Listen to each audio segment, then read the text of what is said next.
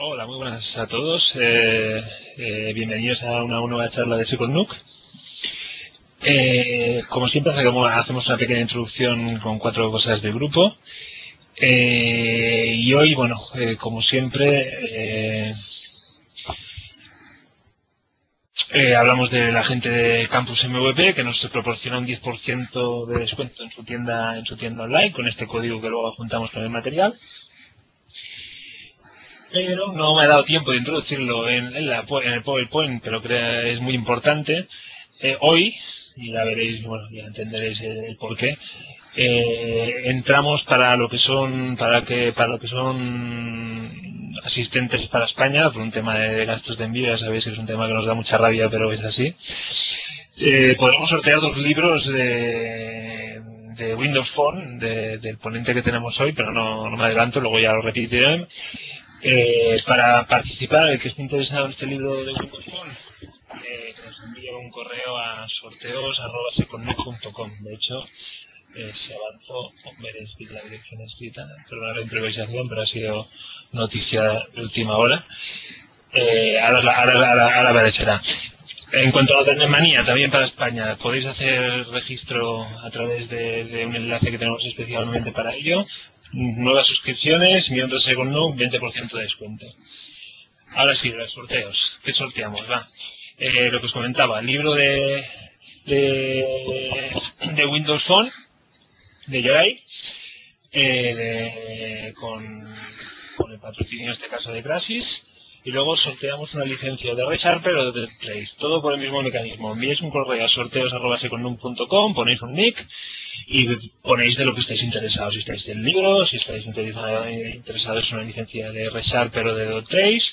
Y al final del evento haremos el video ahí para, para que no se haga de mano inocente. Eh, la licencia de Resharp tenemos la suerte que, bueno, para todo el mundo, ¿eh? no solo España. Aquí como que con un correo nos envía la licencia, pues ya está bien. ¿Qué más cosas que comentamos siempre? Bueno, el, tema de la lista de correo pública. Si vais a nuestra web, secondum.com, es una, primera vía de acceso a información sobre el grupo. Podéis suscribiros a una lista de correo donde vamos intentando bombardeando, bombardearos lo justo y necesario, pero con todas las cosas que hacemos en el grupo. Y luego para cualquier comentario, cualquier historia, contacto arroba intentamos dar respuesta a todo lo que nos planteáis.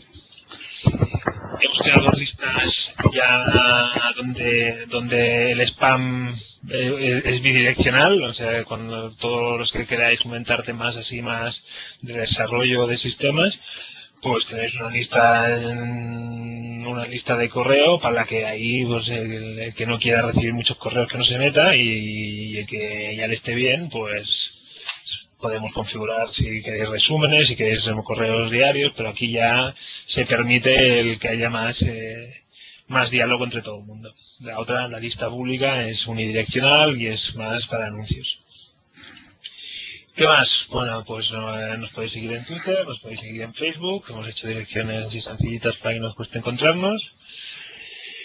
Y como siempre a estas alturas, eh, comentaros el evento que tendremos eh, en este mismo mes, el día 22, con Luis Franco, para hablar de todo, todo lo nuevo que ha salido en el Framework 4 sobre programación paralela, multihilos, cómo hacer que, pues bueno, que la interfaz de usuario pueda, pueda hacer más de una, pueda pueda no, al revés. No sé lo que cuando hagamos procesos en background y toda historias de, de aprovechar eh, multinúcleos y, y, demás que, que Luis Franco controla bastante y creo que será una, una charla una charla muy interesante.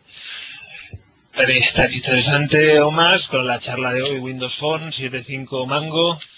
Eh, ¿Quién no ha oído hablar de Mango? ¿Quién no ha oído hablar de Jerai? Eh, y quien no ha a hablar de su libro, recordaros sorteos para, para, para poder tratar el tema el de los, del sorteo del libro.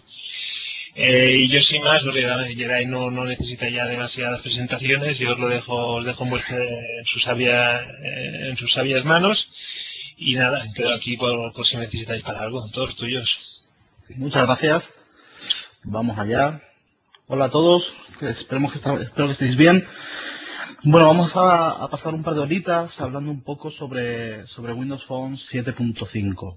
Vale, eh, Me llamo Jerry Julián, para los que no me conozcan o no me sigan por Twitter, trabajo en Plain Concepts como eh, consultor de desarrollo y bueno, eh, llevo ya desde, desde que salió Windows Phone las primeras betas trabajando con él y estoy, bueno, estoy, estoy muy muy interesado en la plataforma, me parece que tiene mucho futuro y más ahora con las últimas novedades que tiene Windows Phone 7.5. Vale, bueno, antes de, empezar vamos a ver un detalle bastante curioso y es el nombre del sistema. Eh, tenemos Windows Phone Mango, Windows Phone 7.5. Se llama 7.5 como nombre de producto, en parte por culpa de los, los hispanohablantes. Eh, Microsoft decidieron, se dieron cuenta de que la palabra mango tenía ciertas eh, connotaciones graciosas y decidieron ponerle 7.5. No se dieron cuenta de lo bien que, rima 7.5 en, en castellano también.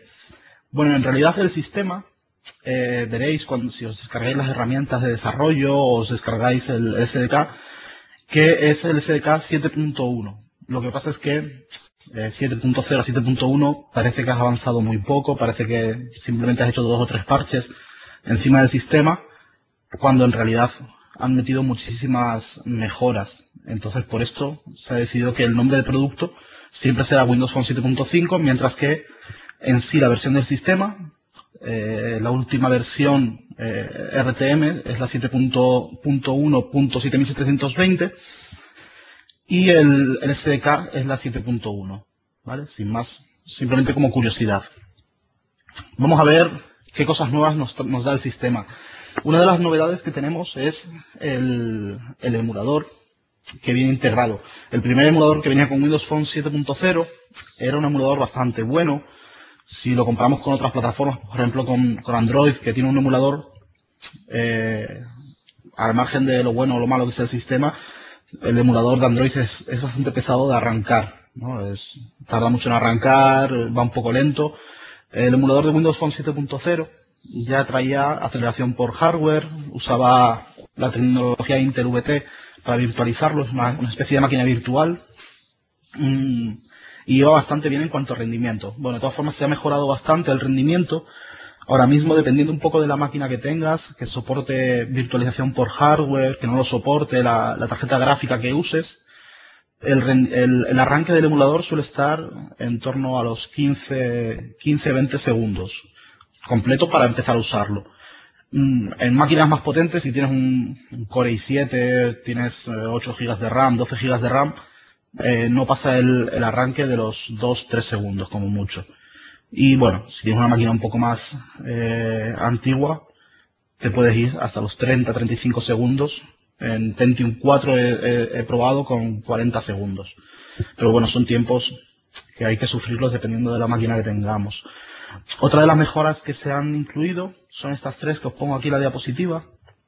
Se ha incorporado emulador para el acelerómetro, para el GPS y un sistema para capturar pantalla. La primera versión no tenía nada de esto y era bastante complicado pues probar el GPS si no tenías un dispositivo. Y bueno, imagínate un día de, invierno lloviendo a mares y, y tú quieres probar tu, tu aplicación de, de, tracking de bicicleta o de carreras. ¿no? Y, y te toca ir a correr debajo de la lluvia, pues la verdad es que es un poco incómodo. Entonces ahora el sistema incorpora ya un emulador de GPS en el que podemos hacer recorridos y enviárselos a un intervalo que definamos o simplemente de forma manual pinchar sobre puntos. También incorpora un emulador para el acelerómetro, de forma que podemos jugar con el, con el teléfono, moverlo, reproducir gestos automáticamente, ¿vale? Para que podamos probar desde nuestro emulador sin necesidad de un dispositivo físico. Y por último también tenemos un, un, sistema de capturas de pantalla. Lo bueno que tiene este sistema es que captura exactamente el área de pantalla de la aplicación sin, sin capturar lo que es el marco del emulador ni nada por el estilo y nos da el formato, el, el tamaño exacto de, de, imagen para luego subir esas, esas capturas al marketplace cuando publiquemos nuestra aplicación. Ahora os voy a enseñar, tengo aquí en, en el escritorio tengo el emulador arrancado. Con una preciosa skin de Nokia, muy muy bonita. Y bueno, tenemos esta flecha de aquí, que nos permite abrir las herramientas avanzadas. Vale, pues tenemos esta pantalla donde podemos jugar con el acelerómetro, moverlo, eh, tenemos, podemos guardar datos y enviárselos, cambiar el, el estado en el que está el teléfono y simplemente pues al moverlo vamos a eh, pasar esos movimientos al emulador.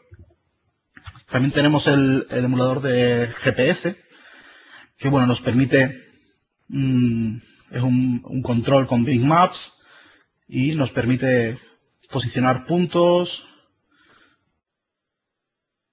eh, enviarlos en vivo o ponerlos y que luego los vaya recibiendo.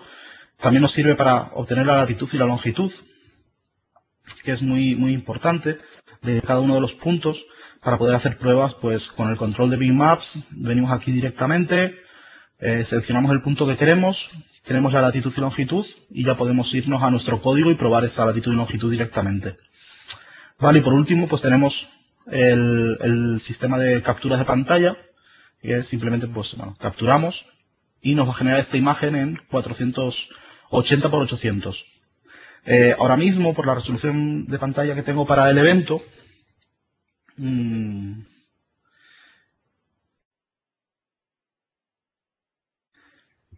por la, por la, perdón, por la resolución de pantalla que tengo para el evento, eh, me avisa de que el emulador no está al 100% de, de calidad, ¿no? Está, lo tengo reducido en tamaño. Podemos aquí ajustarlo a pantalla o directamente decirle que se ponga al 100%, pero no, no, no, no nos entraría ahora mismo. Entonces lo tengo puesto al 60%, que es el tamaño que entra perfectamente. Entonces pues nos avisa de que la captura que está sacando no va a tener la calidad máxima que podría dar. Es recomendable que si vamos a sacar capturas de pantalla para el, marketplace de Microsoft de, Windows Phone, usemos, pongamos el emulador al 100% para poder sacar una captura de pantalla con la resolución nativa y que se vean mucho mejor las imágenes. Una recomendación simplemente. Bueno, eso son un poquitito las herramientas. El, emulador sigue siendo bastante sencillo. Tenemos acceso a Internet Explorer, que bueno, como, como sabéis, estamos hablando de Internet Explorer 9, que ya soporta HTML5. Por ejemplo, la página de Plain Concepts está hecha toda en, en HTML5. Y bueno, el, renderizado de la página es el totalmente completo, como si fuese un, HTML5 de escritorio. Tenemos todo, animaciones, las transparencias, tenemos todo el set de, HTML5 completo. Aparte de esto, pues podemos venir a tocar los settings, podemos cambiar el, el color, se ha añadido algún color más que en Windows Phone 7.0. De fondo tenemos muchísima variedad, podemos elegir entre oscuro o, claro, porque en Microsoft piensan que nunca va a haber más de, hay ocho colores creo, o nueve, y dos eh, fondos de, distintos. Quiere decir que nunca va a haber más de 18 personas en la misma sala con, eh, con un Windows Phone. Esperemos que se equivoquen. También podemos eh, tocar opciones de, hora y de fecha, la layout del teclado o la región que usamos en el, emulador. esto está muy bien, sobre todo para cuando queramos probar aplicaciones localizadas con multidioma, el poder cambiar el idioma del emulador se resetea, nos pide que, reiniciemos el emulador, como si hiciésemos un apagar y encender del teléfono, y ya podemos probar nuestra aplicación en el nuevo idioma. Para aparte de esto, pues bueno, si estamos trabajando con background tasks, que más adelante veremos lo que son, pues aquí tendríamos una lista como el teléfono y, bueno, pocas opciones más. Por defecto viene, viene el resto del sistema capado, pero por lo menos nos da una idea eh, de cómo se va a comportar nuestra aplicación bastante verídica, con relación al, al dispositivo físico real. Vale.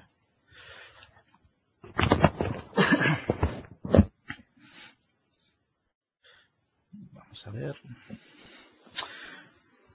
Bueno, esto en cuanto, en cuanto al nuevo emulador. También tenemos novedades en cuanto al tipo de aplicaciones que podemos hacer. Seguimos manteniendo las que teníamos antiguamente con, con Windows Phone 7.0, que es una las aplicaciones Silverlight para Windows Phone, eh, usando un control panorama, usando un control pivot, una aplicación normal, eso, la seguimos manteniendo. Además tenemos como aplicaciones Silverlight, estoy hablando solamente de Silverlight. Tengo aquí al maestro Ivón de la nube, se van. bueno, aparte de, aparte de estas aplicaciones, pues tenemos, eh, se han extendido las aplicaciones Silverlight. Ahora tenemos la eh, Windows Phone 3D Graphic Application, que nos permite, eh, que nos permite eh, mezclar contenido XNA con, con, contenido Silverlight, de forma que podemos renderizar en 3D gráficos y usar looping de juego para, para, para mostrar nuestro contenido. También tenemos eh, dos agentes de audio, que son el audio playback y el audio streaming. Son muy, muy útiles. El audio playback nos permite eh, reproducir en segundo plano audio. De esta forma vamos a poder cerrar nuestra aplicación, que nuestro, un archivo de audio, un MP3 o un WAV, sigan reproduciéndose y eh, cuando, cuando el usuario acceda al, al, bloqueo de pantalla, cuando se bloquee el teléfono, nuestro agente va a estar integrado directamente con el control de reproducción de Zune. Esto quiere decir que si el usuario le da a siguiente canción, nuestro agente en background, sin que la aplicación esté arrancada, va a recibir esa acción y vamos a poder cambiar de canción, volver atrás, parar, subir y bajar el volumen. Vamos a poder hacer todo esto. Vamos a poder integrar toda nuestra aplicación directamente con el, los controles de Zune fuera de, la, fuera de nuestra aplicación. Vamos a tener una especie de, reproducción en segundo plano. El Audio Streaming Agent, el agente de, reproducción de audio con streaming, nos permite hacer exactamente lo mismo con un paso intermedio. Nos permite eh, colocar un decodificador intermedio para, eh, por ejemplo, el, el, Windows Phone por defecto nos permite reproducir MP3 y WAV solamente. Si tenemos un archivo pues en OGG o en otro formato, podríamos eh, usar un, decodificador propio que hayamos desarrollado nosotros para decodificar ese archivo que llega y reproducirlo de la misma forma.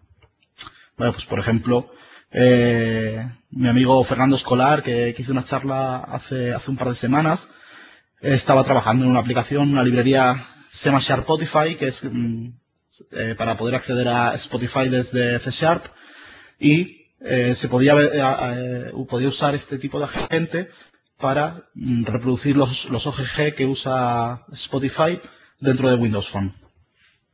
Y por último tenemos el Windows Phone Task Scheduler Agent que nos permite eh, programar tareas en segundo plano para que sean ejecutadas por el teléfono. También las veremos en más profundidad luego. Vale, por, como avance, también tenemos eh, nuevos eh, selectores y lanzadores. No sé cuántos de aquí eh, conocíais ya Windows Phone 7.0, pero bueno, para, hacer un pequeño resumen, eh, la forma de interactuar desde nuestra aplicación hacia el sistema, hacia parte del sistema, como por ejemplo la aplicación de fotos, para sacar una foto, la cámara, eh, enviar un correo electrónico, todas estas cosas se hacían mediante eh, los, son los launcher y los choosers, los lanzadores y selectores de Windows Phone. En Windows Phone 7.5 se ha ampliado la colección que tenemos y ahora hemos pasado a tener eh, estos cinco principalmente, hay alguno más, pero estos son los más importantes, los Share Status Task y Share Link Task, que nos van a permitir eh, desde nuestra aplicación compartir con las redes sociales que estén configuradas en el teléfono un contenido. Sabéis que en Windows en Windows Phone 7.0 teníamos conexión directa contra Facebook en, el sistema y en Windows Phone 7.5 se ha ampliado esa, integración para integrar también LinkedIn, Twitter y eh, Windows Live. De esta forma podemos eh, desde nuestra aplicación coger un enlace o una URL usar la, share link task para enviar esa URL pues a, las, uh, redes sociales que el usuario elija. También tenemos Bing Maps Direction Task. Este lanzador lo que nos permite es decir, eh, tener un punto inicial y un punto final, lanzarlo y que nos dibuje una, una ruta en la aplicación de mapas del teléfono. ¿Vale? Ahora ya en Windows Phone 7.5 también tenemos, se ha incluido de cara al usuario la navegación giro a giro y, y por voz en Bing Maps. Entonces, pues, tenemos una forma muy sencilla, con muy pocas líneas de código, de poder lanzar una ruta y que el usuario la pueda seguir. Eh, también tenemos el Safe Contact Task, que nos permite eh, reunir muchísima información, toda la información de un, contacto y lanzar el guardado de ese contacto a la agenda del teléfono, ¿vale?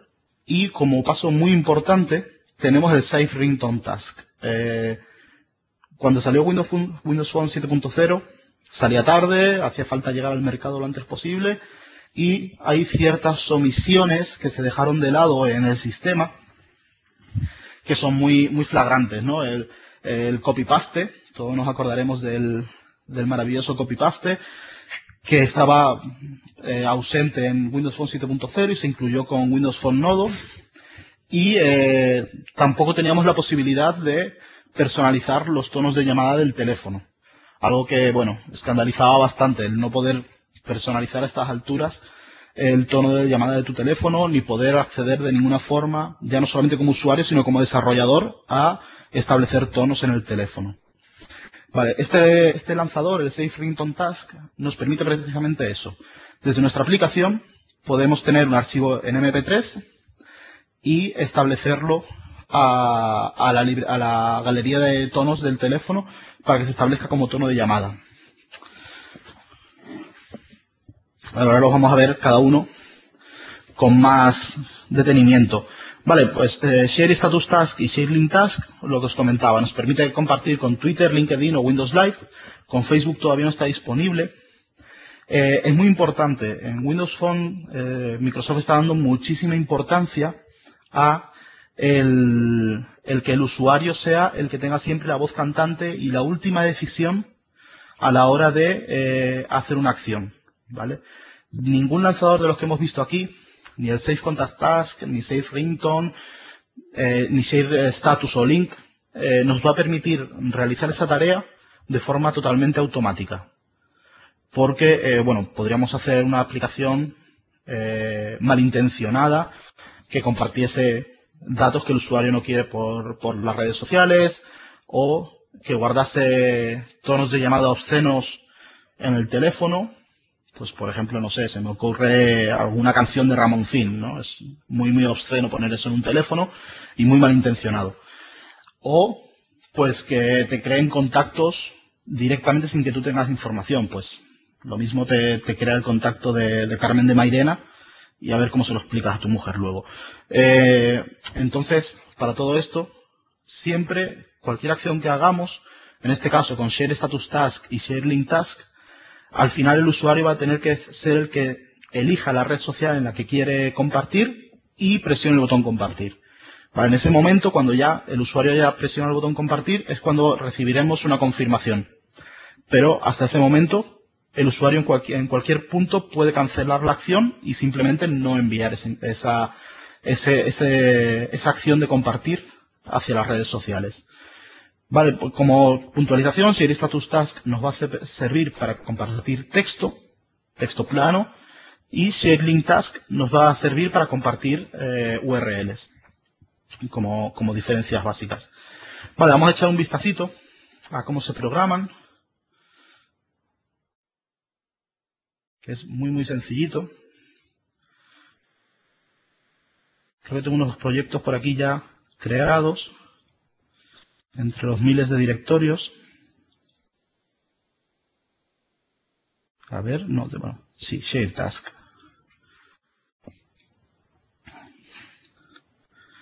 Vale, más que nada para no perder mucho tiempo, pues en, diseñar la, la interfaz o diseñar todo lo demás. Para una interfaz muy sencillita, simplemente tenemos dos textbox, y dos botones. Uno nos va a permitir compartir el estado, otro eh, compartir un enlace. ¿vale? En cuanto le damos al, al, botón de compartir, tenemos creadas dos tareas, que es Share Status Task y Share Link Task. Simplemente, para usar Share Status, establecemos el status y no tenemos mucho más que hacer. No, no tiene otra propiedad que podamos establecer, simplemente llamamos a show y eh, automáticamente se mostraría la pantalla de selección de eh, se mostraría la, la, pantalla de selección de, de, de, redes sociales. El usuario marcaría las que quiere usar para compartir y automáticamente se, eh, se, automáticamente se, compartiría con las redes sociales elegidas. Vale, me pregunta Ariel, lleva un ratito esperando, eh, que qué necesita bajar para comenzar a desarrollar. Eh, en principio, lo único que hace falta es eh, descargarse eh, el SDK de desarrollo, que lo podéis bajar de create.msdn.com. A ver si os puedo poner la dirección, es muy sencillita, pero por, de todas formas Creo que podría compartir por aquí una página de texto. La dirección es create.msdn.com.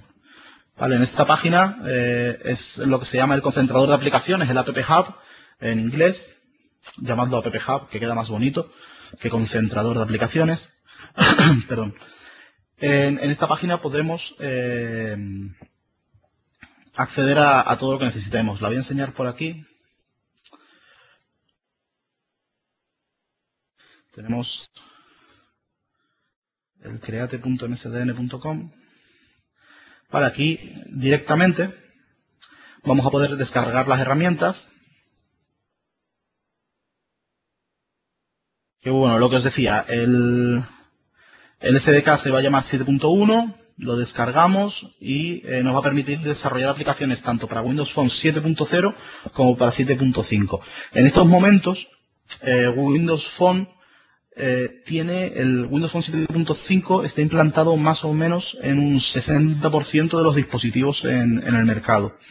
Y está disponible para un 99,9% de todos los dispositivos que existen. ¿Por qué esta diferencia? Eh, son gente que no ha actualizado. ¿Por qué no está disponible para el 100% de los teléfonos?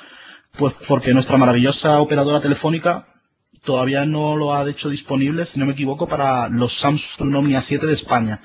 Creo que son los únicos teléfonos a día de hoy que eh, no tienen Windows Phone eh, 7.5, aunque han prometido que eh, en noviembre iban a sacar ya la, versión. Ha sido un problema al parecer con, los firmware del fabricante.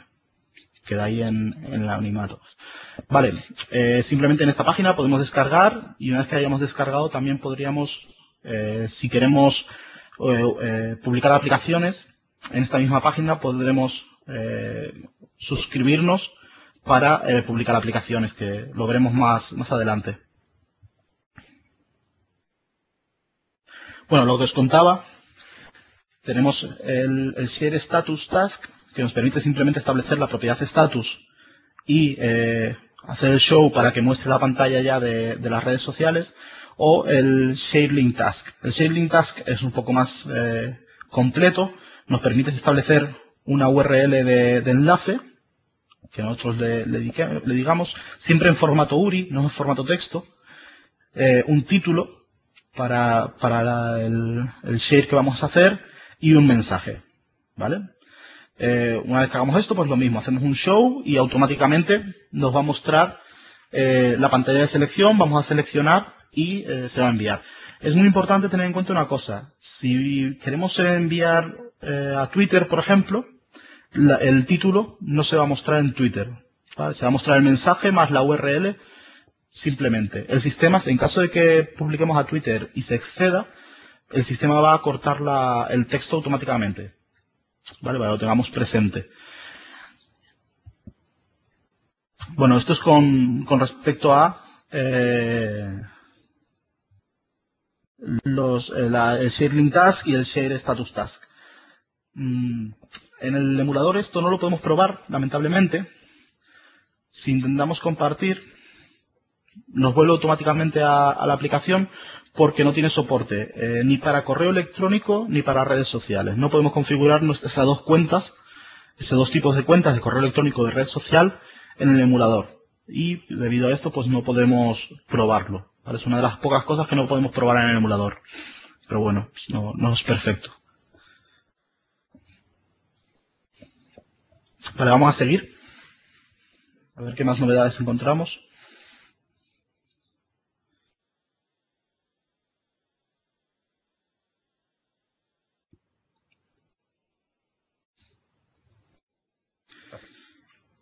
Vale, otra de las novedades que tenemos en cuanto a los lanzadores y selectores y que es una de las más interesantes, por encima, aunque al Safe Task, por ejemplo, el tema de poder establecer eh, tonos de llamada, se le ha dado muchísima, eh, eh, mucho, mucha rimbombancia, ¿no? Mucho, mucho interés. Al final, eh, para mí una de las eh, cosas que mejor puede tener un teléfono no es cómo, cómo suben el tono de llamada, que bueno, hay, hay cuatro o cinco, creo que son diez para elegir, pero eh, la funcionalidad que te da día a día es lo más importante, las aplicaciones, lo que puedes hacer con ellas y cómo mejoran eso tu productividad y tu forma de moverte. Yo, pues bueno, en Plain Concepts, entre giras de, presentaciones o charlas, consultorías, estamos bastante tiempo al, eh, en la carretera o en, en autobuses, visitantes ciudades y no siempre conoces a dónde vas. Entonces, para mí, toda la funcionalidad de GPS, eh, direcciones y todo esto es muy importante normalmente, porque además soy muy despistado, me, pierdo en 10 metros cuadrados y eh, eh, tengo que, tirar de GPS siempre que pueda. Vale, entonces, esta funcionalidad, Bing Maps Direction Task, por ejemplo, me parece maravillosa, una de las mejores. Nos permite definir un punto inicial y otro final, y una vez lo definamos, nos va a abrir la aplicación de mapas del teléfono y va a trazar la ruta completa con instrucciones eh, paso a paso. ¿Vale? Para esto, pues, eh, tenemos que usar el ensamblado system.device y el namespace system.device.location. ¿Vale? Vamos a ver una, una pequeña demo en la que vamos a ver cómo, cómo movernos con él.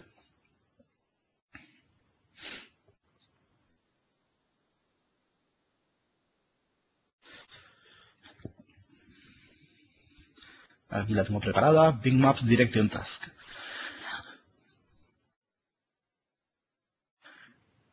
Vale, lo bueno que tenemos es que eh, de esta forma pues no necesitamos incorporar sistemas complejos de, de rutas o trazarlas nosotros. Eh, por ejemplo, antes cuando Google Maps era gratuito, eh, mucha gente pues usando los servicios de Google Maps trazaba rutas, te mostraba el mapa, era un poco más complicado. ¿vale? No es que fuese horriblemente complicado, pero era un poco más complicado.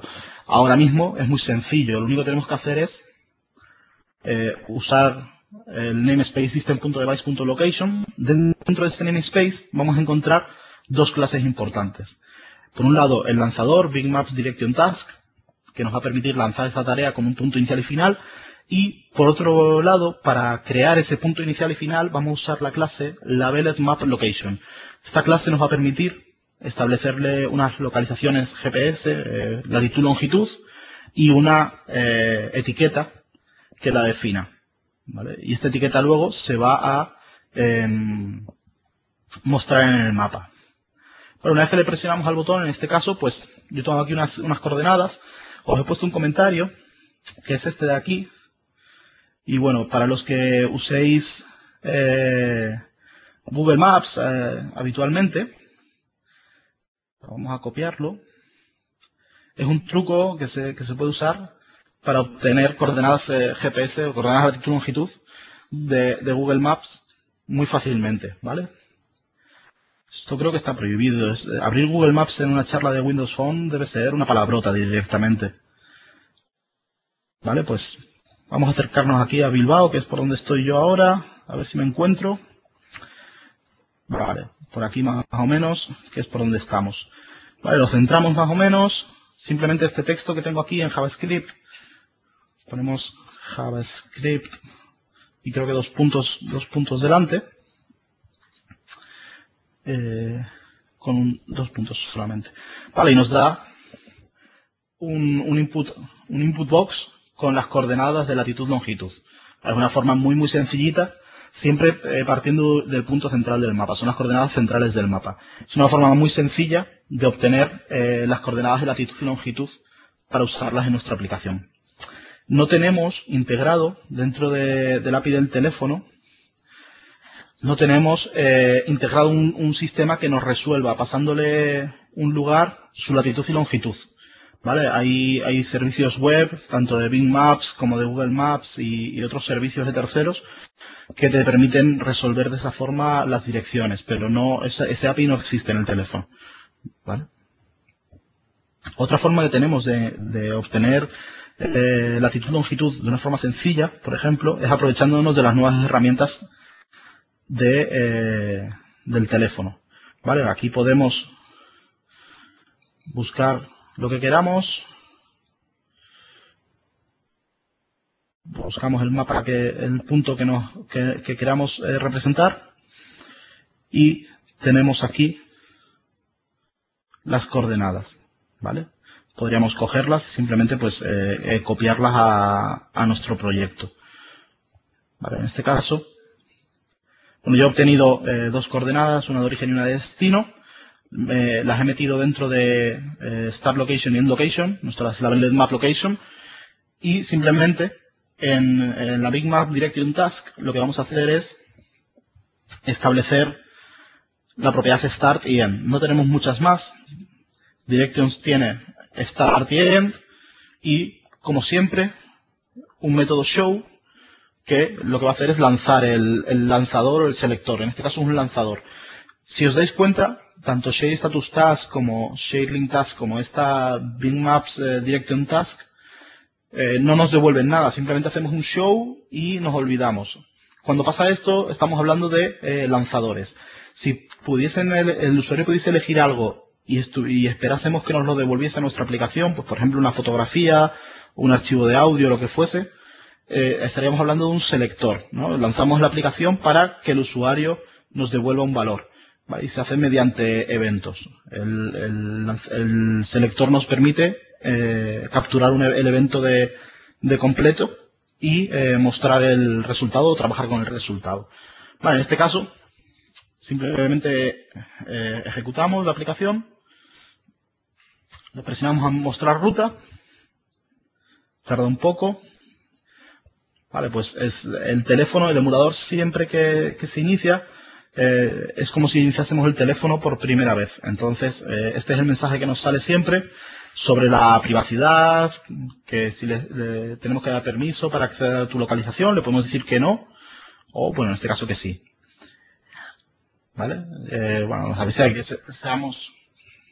Habla, tiene voz en inglés, pero habla. ¿Vale? Simplemente tenemos las... Eh,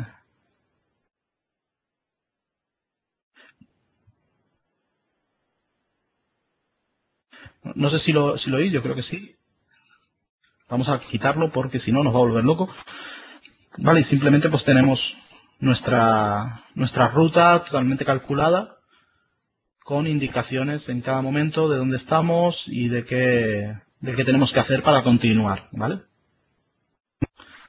Bueno, vamos a, quitarle la voz porque si no nos, nos vuelve locos. Vale, tenemos nuevas opciones, pues eh, ver cosas cercanas con el Scout, eh, centrarnos donde estamos nosotros, mostrar el tráfico. Hay opciones que no están eh, disponibles ahora mismo en España. El emulador está en, con, la cultura estadounidense y hay opciones que por defecto no se encuentran disponibles en España todavía. Vamos a ver una, una pregunta que tenemos por aquí.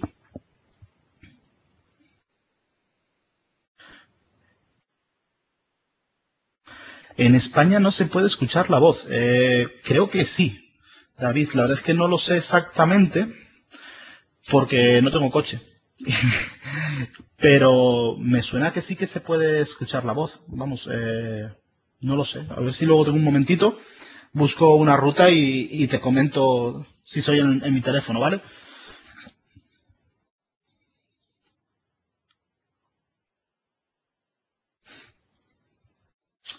Vale, bueno, vamos a seguir.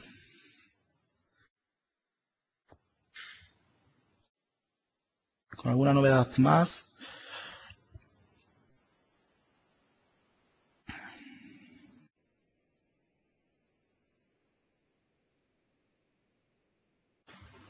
Bueno, esperado. uno de los, de los lanzadores, una de las novedades más, esperadas de eh, Windows Phone 7.5. Podemos guardar tonos de llamada. Tenemos restricciones. ¿vale? Eh, durante toda la presentación iremos viendo novedades y os iréis dando cuenta de que hay algunas que son un poco restrictivas y otras que son muy restrictivas para nosotros los programadores. ¿vale? Eh, luego también podemos hablar de esto y explicar un poco la filosofía que está intentando seguir Microsoft en cuanto a Windows Phone con respecto bueno, al resto de las plataformas, a los usuarios, a los desarrolladores. ¿vale? Pero bueno, en este caso eh, para poder guardar un tono de llamada, eh, tenemos una duración máxima en, segundos de 40, 40 segundos como máximo de duración. El tamaño máximo es de un megabyte, no nos permite archivos mayores. Y el formato puede ser MP3 o eh, Windows Media Audio, WMA, sin DRM. ¿Vale? Y bueno, como novedad también, podemos eh, acceder a, archivos MP3 que tengamos guardados en el isolated storage de la aplicación, en el almacenamiento aislado de la aplicación, porque nos lo hayamos descargado desde un servicio web o desde internet o, bueno, desde cualquier fuente a la que podamos acceder, o a app data, que es eh, los directorios de datos de la aplicación en sí, que es para cuando el archivo MP3 o WMA ha sido incluido junto con la instalación de la aplicación. ¿Vale? Pues eh, ahora mismo uno que me gusta mucho a mí, es una aplicación que hay en el marketplace que se llama Star Wars Ringtones. Entonces, pues le tengo puesto a, toda la empresa y a, mi mujer, a, todos mis contactos, distintas canciones de Star Wars con una duración de 20-30 segunditos. Y, bueno, vienen todos incluidos con la aplicación, no solo descarga de ningún sitio. La parte mala, tienes una, una, una instalación de una aplicación muy, muy, muy sencilla, que ocupa 30 megas o 40 megas. La parte buena es que no me los tengo que descargar y no me tengo que gastar el plan de datos. ¿vale? Lo descargo conectando el teléfono al, al PC mediante Zune y, y uso la, la, red que tenga el, el que tenga el, el, ordenador. Vale, pues estos dos esquemas URI, el ISO Store 2 puntos barra barra y appdata 2 puntos barra barra, nos permiten mmm, Vaya hombre, me están chivando quién es el autor de Star Wars Rington. Hmm, que pedir alguna inclusión nueva para la versión 1.2. Bueno, eh, lo que os contaba, que me, me, despisto con mis fricadas varias. Eh, eh, estas dos URIs, ISOSTOR 2 puntos barra barra y RPData 2 puntos barra barra, nos permiten simplemente esto, acceder a recursos indicándole dónde queremos que los, vaya a buscar directamente. Si queremos que los vaya a buscar al, almacenamiento aislado o al directorio de datos de la aplicación, ¿vale? Bueno, vamos a, a ver un, una demo sobre, eh, sobre esto, sobre cómo guardar eh, tonos de llamada en el, en el teléfono.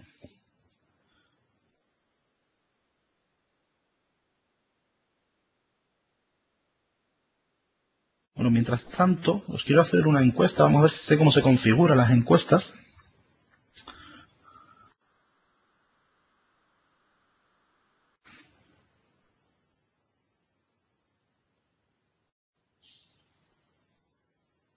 Sí, sí que sé.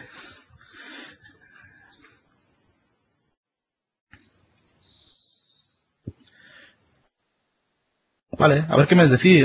¿Habéis visto los nuevos Nokia? ¿Os gusta el, Lumia 800? Ahí, 100% que sí, me encanta. Muy bien. Eh, Antonio. Falta la opción sí. sí. Bueno, no. Uy, hay, hay, uno que no le gusta. Bueno, ah, ¿qué se le va a hacer? Se, seguro que tiene un Samsung Galaxy S2. Vale, bueno, simplemente era una, era una pequeña curiosidad, ¿vale? Me, a mí me parecen muy bonitos. He, tenido la posibilidad de tener uno en la mano. Y aparte de, de bonitos, yo soy un fan de Nokia de, de hace muchísimo tiempo. Eh... Perdón.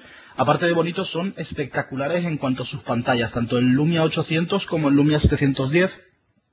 Tiene una pantalla que se llama Clear Black.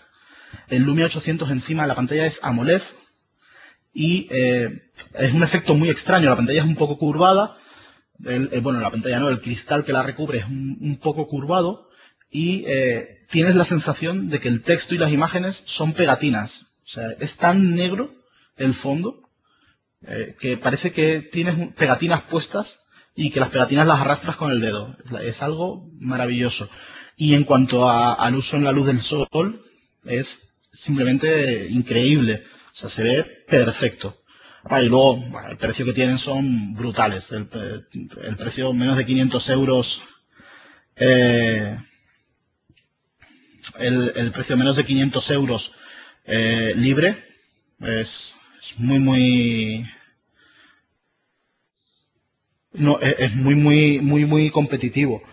Vale, nos dice David que le gusta el Lumia, pero que no sobrepasa sus expectativas. Sí, son teléfonos, a ver, hay que, hay que cogerlos con pinzas. ¿Por qué? Porque eh, si comparas cualquier Windows Phone ahora y, de- y en el futuro hasta julio, agosto, por lo menos de 2012 como mínimo, los comparas con un Samsung Galaxy S2 y dices, guau, pero es que el Galaxy S2 tiene mm, 512 núcleos y pantalla holográfica de 200 pulgadas y hace 3D y trae el accesorio para hacer tostadas. Es brutal. Luego la batería dura 30 minutos. Pero bueno, ¿quién no lleva una batería de coche en la espalda para cargar el móvil? Eh, em, lo bueno que tiene Windows Phone es que va tan suave en procesadores de un solo núcleo ahora mismo que nos permite hacer estas cosas. Con un solo núcleo, eh, Windows Phone 7.5 como sistema operativo va más suave que, no digo todos, pero que sí la mayoría de eh, smartphones del mercado. Entonces, eh, lo, que recortas en consumo de, de hardware, lo metes en la batería. ¿Vale? Con baterías más pequeñas y más ligeras que se calientan menos, podemos usar procesadores más pequeños que nos den el mismo rendimiento. ¿Vale? Tened en cuenta que eh, los Nokia, los dos llevan un procesador de 1,4 GHz mononúcleo. El mínimo de Windows Phone son 800 MHz. Sea, muy cercano a la mitad de lo que lleva un, Nokia Lumia. Eh, todas las pruebas de rendimiento sobre el marketplace se realizan entre los 800 y los 1000 MHz, ¿vale? Con, eh, procesadores actuales. Esto quiere decir que eh, va a ir per- perfecto y un poco más allá, ¿vale? O sea, va a ir un poco mejor en los Lumia por encima de los, teléfonos actuales que van muy muy bien, Es la diferencia un poco en cuanto a hardware. ¿Merece la pena, eh, nos pregunta Carlos, ¿eh, ¿merece la pena apostar por el Lumia 800 frente al Lumia 710? Eh, a mí me merece la pena solo por una cosa, y es la pantalla AMOLED. ¿vale? Yo creo que la pantalla es muy importante y creo que uno de los problemas que tenemos ahora mismo con la mayoría de móviles es el, el hecho de que sales a la luz del sol y como no esté nublado completamente el día, no ves nada. O sea, hay que, hay que quitarse el sombrero ante el iPhone en ese sentido, porque la pantalla del iPhone es brutal. Yo he podido tener uno en mis manos con guantes, no, no, no penséis que lo cogí así sin protección, no, no, con, con guantes para no, para no infectarme ni nada de esto, eh, lo obtuve y es increíble lo bien que se ve la pantalla a la luz del sol, ¿vale? Una pantalla IPS. Pues las pantallas AMOLED o, o las Super AMOLED son iguales o mejores en cuanto a la calidad que puedes eh, obtener a la luz del sol, eh, la, calidad del color, la calidez, es muy brutal. Para mí solo por eso o, eso, eso, nos dice Tony Recio para, para que para pantallazo el Omnia 7. El Omnia 7 tiene una pantalla Super AMOLED. Entonces, por eso tiene esa pantalla que al lado de cualquier HTC con Windows Phone es una maravilla. ¿Vale? Y es lo que, lo que pasa. Es, para mí es la mayor baza. Eh, luego, ¿qué tienen?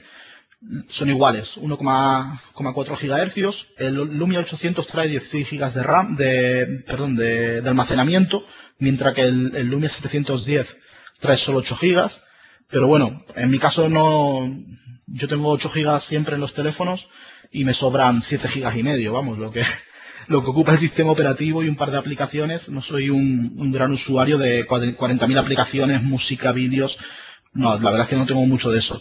Entonces para mí el, tamaño no es, eh, ¿qué más suena esto?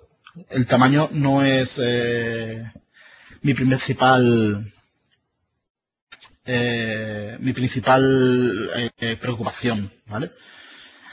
Bueno, hemos hecho la encuesta, veo que hay mucha gente que, le gusta el, el Omnia, el, perdón, el, el Lumia 800, ¿vale? Saldrá pronto.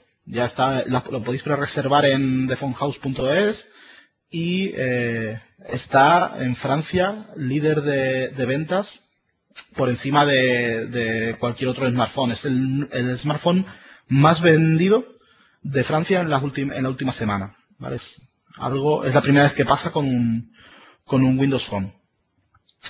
Vale, vamos a, a, seguir. Ya hemos hablado un poquitito, se ha cargado el Visual Studio. Y vamos a ver. Vamos a cerrar aquí la solución que tenía abierta y abrir la de ringtones, que está aquí, Save Ringtone. Vale, bueno, esta solución también va a ser muy sencillita. Tengo un tono en, MP3, que aquí lo veis, no lo puedo reproducir porque si no la SGAE me caería encima y ya se me ha acabado el, dinero para, pagar los derechos de autor. Entonces no, os, dejo ver el código hexadecimal y ya que cada uno se lo reproduzca. Y tenemos una aplicación también pues muy sencilla, guardar tono, no lo hemos complicado demasiado y eh, sigue el mismo, el mismo camino que el, resto de lanzadores.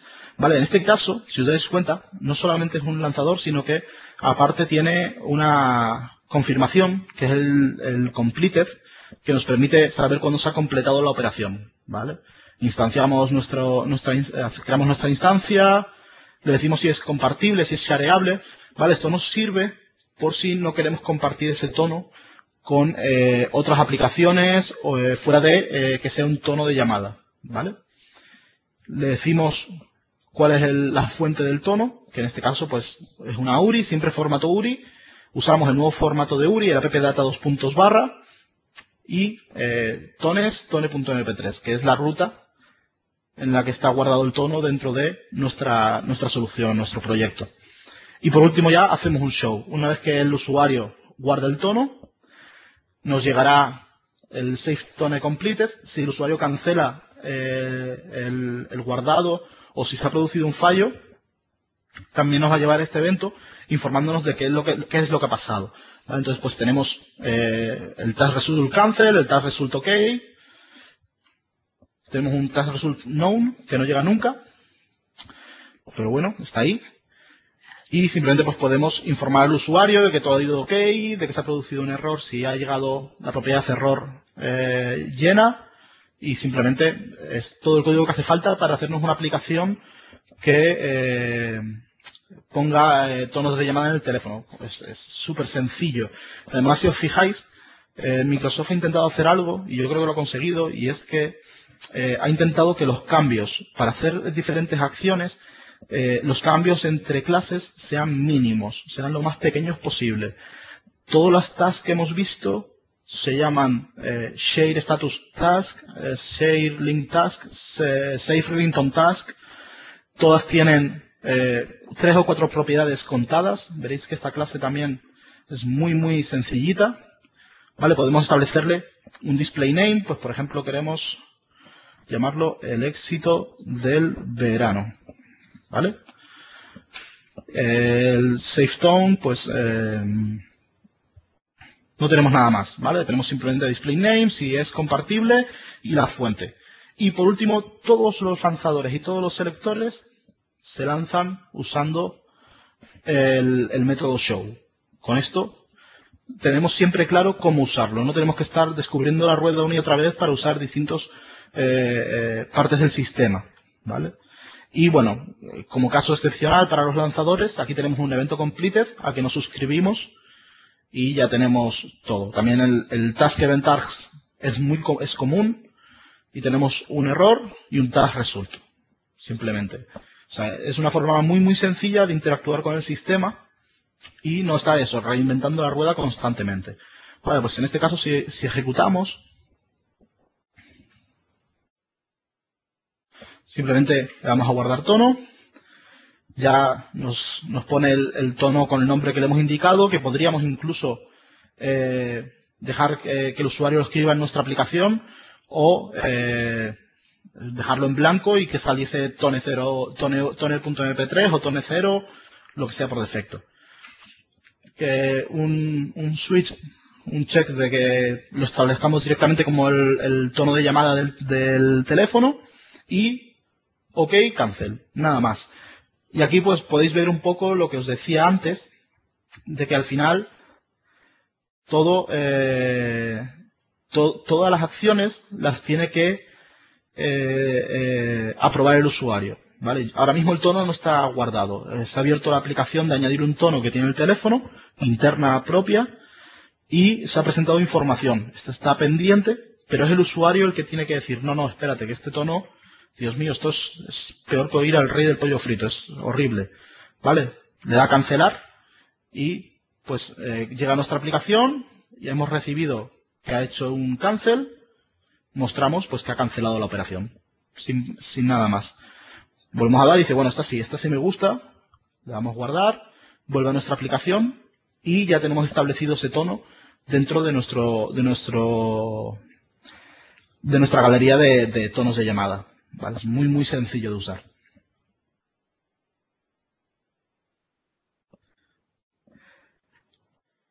Vale, vamos a ver diapositivas.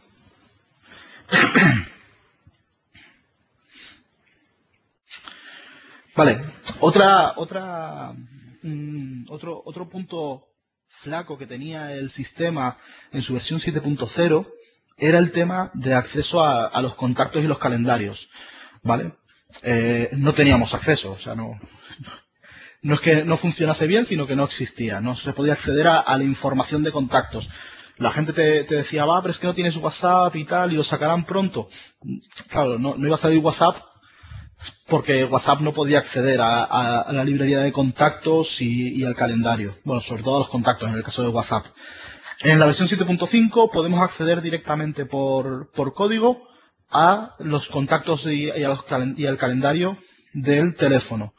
Eh, es acceso de solo lectura, en este caso no, requiere mm, permisos del usuario, por eso, porque solamente vamos a leer información que está en el teléfono. ¿vale? No podemos eh, modificarla, ni eliminarla, ni nada por el estilo. Eh, y para, hacer esto, lo que vamos a usar es una fuente de datos unificada. Si os dais cuenta, en el teléfono tenemos eh, Facebook, tenemos Twitter, tenemos LinkedIn, tenemos cuentas de correo, pues yo en mi caso, pues Google Mail y Exchange. Y en cada cuenta tienes tus contactos, tienes calendario, tienes distinta, distinta información. Entonces, en vez de tener que ir consultando una por una, elegir pasos, lo que vamos a hacer es usar lo que se llama las fuentes de datos unificadas. ¿Vale? Que son estas que vemos aquí. Todos estos son proveedores de datos que podemos usar en el teléfono y eh, el tipo de información que nos van a dar. ¿Vale? Pues, por ejemplo, podemos tener contactos directamente en el dispositivo, nos va a dar su nombre, la imagen si la tiene, otros datos de contacto y los apuntes del calendario, las citas del calendario. Windows Live Social y Rolodex, pues lo mismo, nos van a dar la misma información. Las cuentas de Exchange también nos van a dar toda la información de contactos, eh, imagen, eh, nombre, todo. Luego, el libro de, de, contactos del operador, pues nos va a dar toda información de contactos, de calendario no, porque no la soporta. Facebook solamente nos va a dar el nombre y la, y la imagen del contacto, Mm, porque no, supongo que porque no tiene información, o quiero pensar que porque no tiene el resto de información de tus contactos.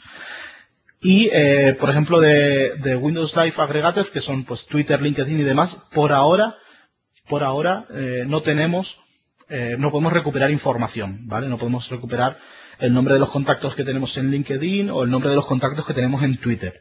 Por ahora, en ese sentido, estamos limitados a Facebook, las cuentas de correo electrónico, Windows Live, el propio dispositivo y la agenda que tengamos en la tarjeta SIM del teléfono. Que bueno, es bastante ya, es la mayoría de, nuestros contactos. Vale, vamos a echar un vistacito cómo funciona todo esto, que es una parte muy, muy interesante.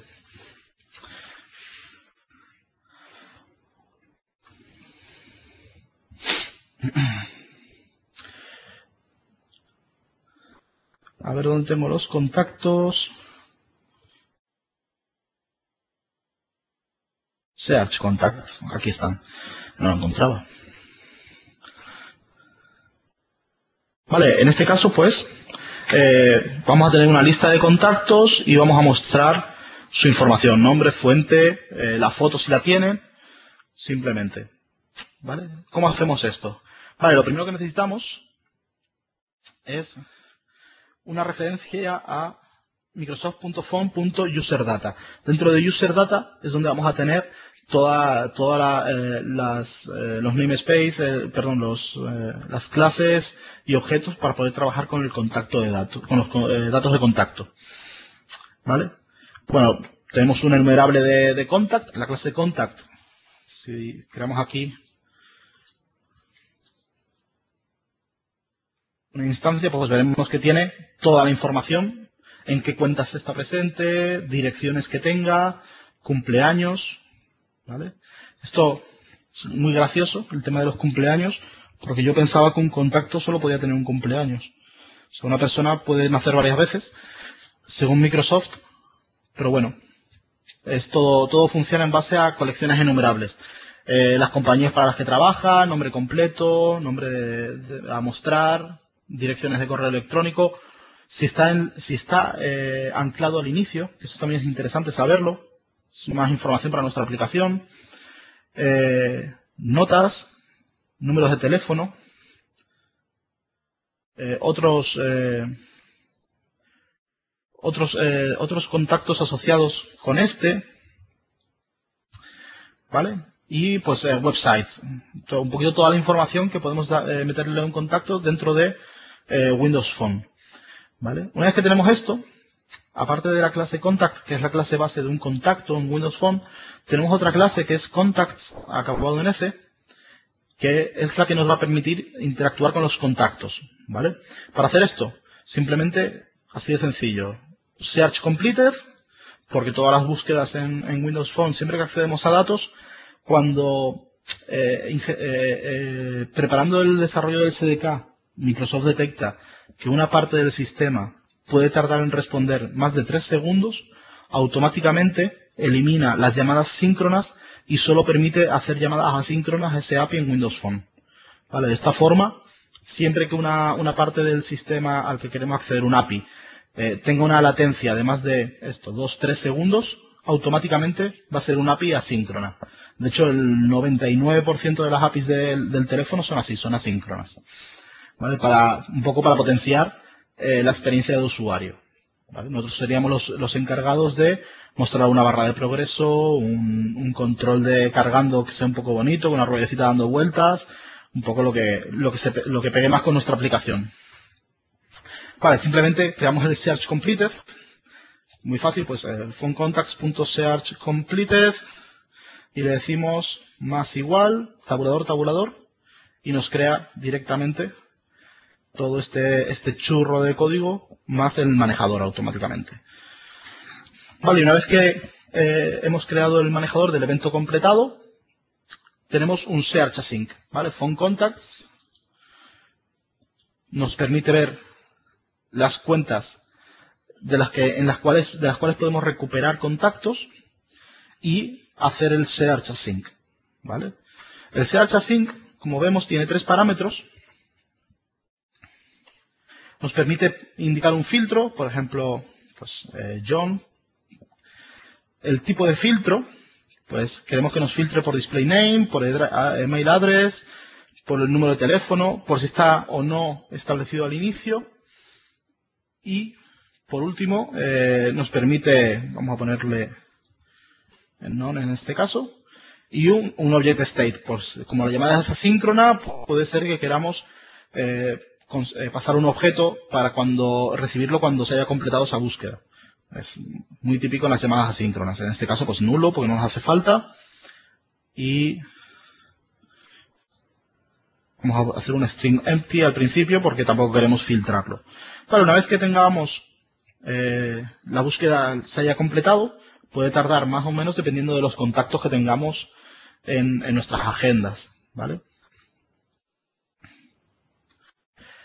No, eh, me pregunta Iván si se puede acceder a, los emails de la misma forma. No, solamente tenemos APIs para acceder a los contactos de esta forma y a, las citas de los calendarios. Por ahora no se puede acceder a, los correos electrónicos ni a, ni ninguna información más del, teléfono. Podemos obtener las cuentas de correos electrónicos de un contacto, pero no sus mensajes de correo electrónico. ¿Vale? Bueno, una vez que hemos llegado ya al Search Completed, tenemos nuestro Contact Search Eventars, donde tenemos toda la información. Primero que nada, tenemos el e.results, donde vamos a obtener, si os dais cuenta, es un i enumerable de contact, de la clase de contacto y lo primero que podemos hacer es simplemente comprobar si, es distinto de nulo. Si hemos recibido algún resultado lo comprobamos, si es distinto de nulo nos lo guardamos en, nuestra, en nuestro enumerable de contactos. ¿vale? Y ya los podemos establecer directamente a el item source de una lista. Por ejemplo, guardarlo o si esto lo estuviésemos haciendo, luego veremos un poquitito de podríamos establecerlo una propiedad, hacer un race change y enviar la, la notificación de cambios hacia la interfaz de usuario. Ahí tenemos otra pregunta.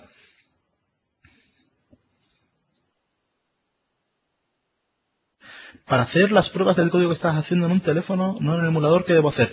Bueno, eh, luego lo hablaremos un poquito con más calma, pero en principio para poder eh, desarrollar contra un teléfono, probar código contra un teléfono, eh, hasta ahora solo existía una, forma y era registrarte como desarrollador en el marketplace. pagar los 75 euros, creo que son más o menos al año, para, para poder desbloquear hasta tres teléfonos y poder publicar aplicaciones. ¿Vale? Sé que ahora y creo que además con el beneplácito de Microsoft hay un, hay un sitio que se llama Chevron Labs que eh, pagando una cantidad fija, creo que son 10 dólares o 15 dólares, desbloquean el teléfono para poder desarrollar sobre él sin tener que, eh, sin tener que, que, suscribirte al marketplace. De todas formas, eh, yo se lo digo a todo el mundo, son 75 euros que, bueno, para un año son menos de 7 euros al, al mes que es bastante poco dentro de lo que cabe, y tienes la posibilidad de publicar aplicaciones, ¿vale? Y bueno, puede ser un, sitio en el que saques algo más que 75 euros y te permita probar todo esto. De todas formas, eh, también te digo, el, emulador va muy muy bien a la hora de probar, de probar aplicaciones y de hecho normalmente yo cuando desarrollo aplicaciones, eh, tanto en Plain Concepts o haciendo demos, haciendo alguna cosilla en casa.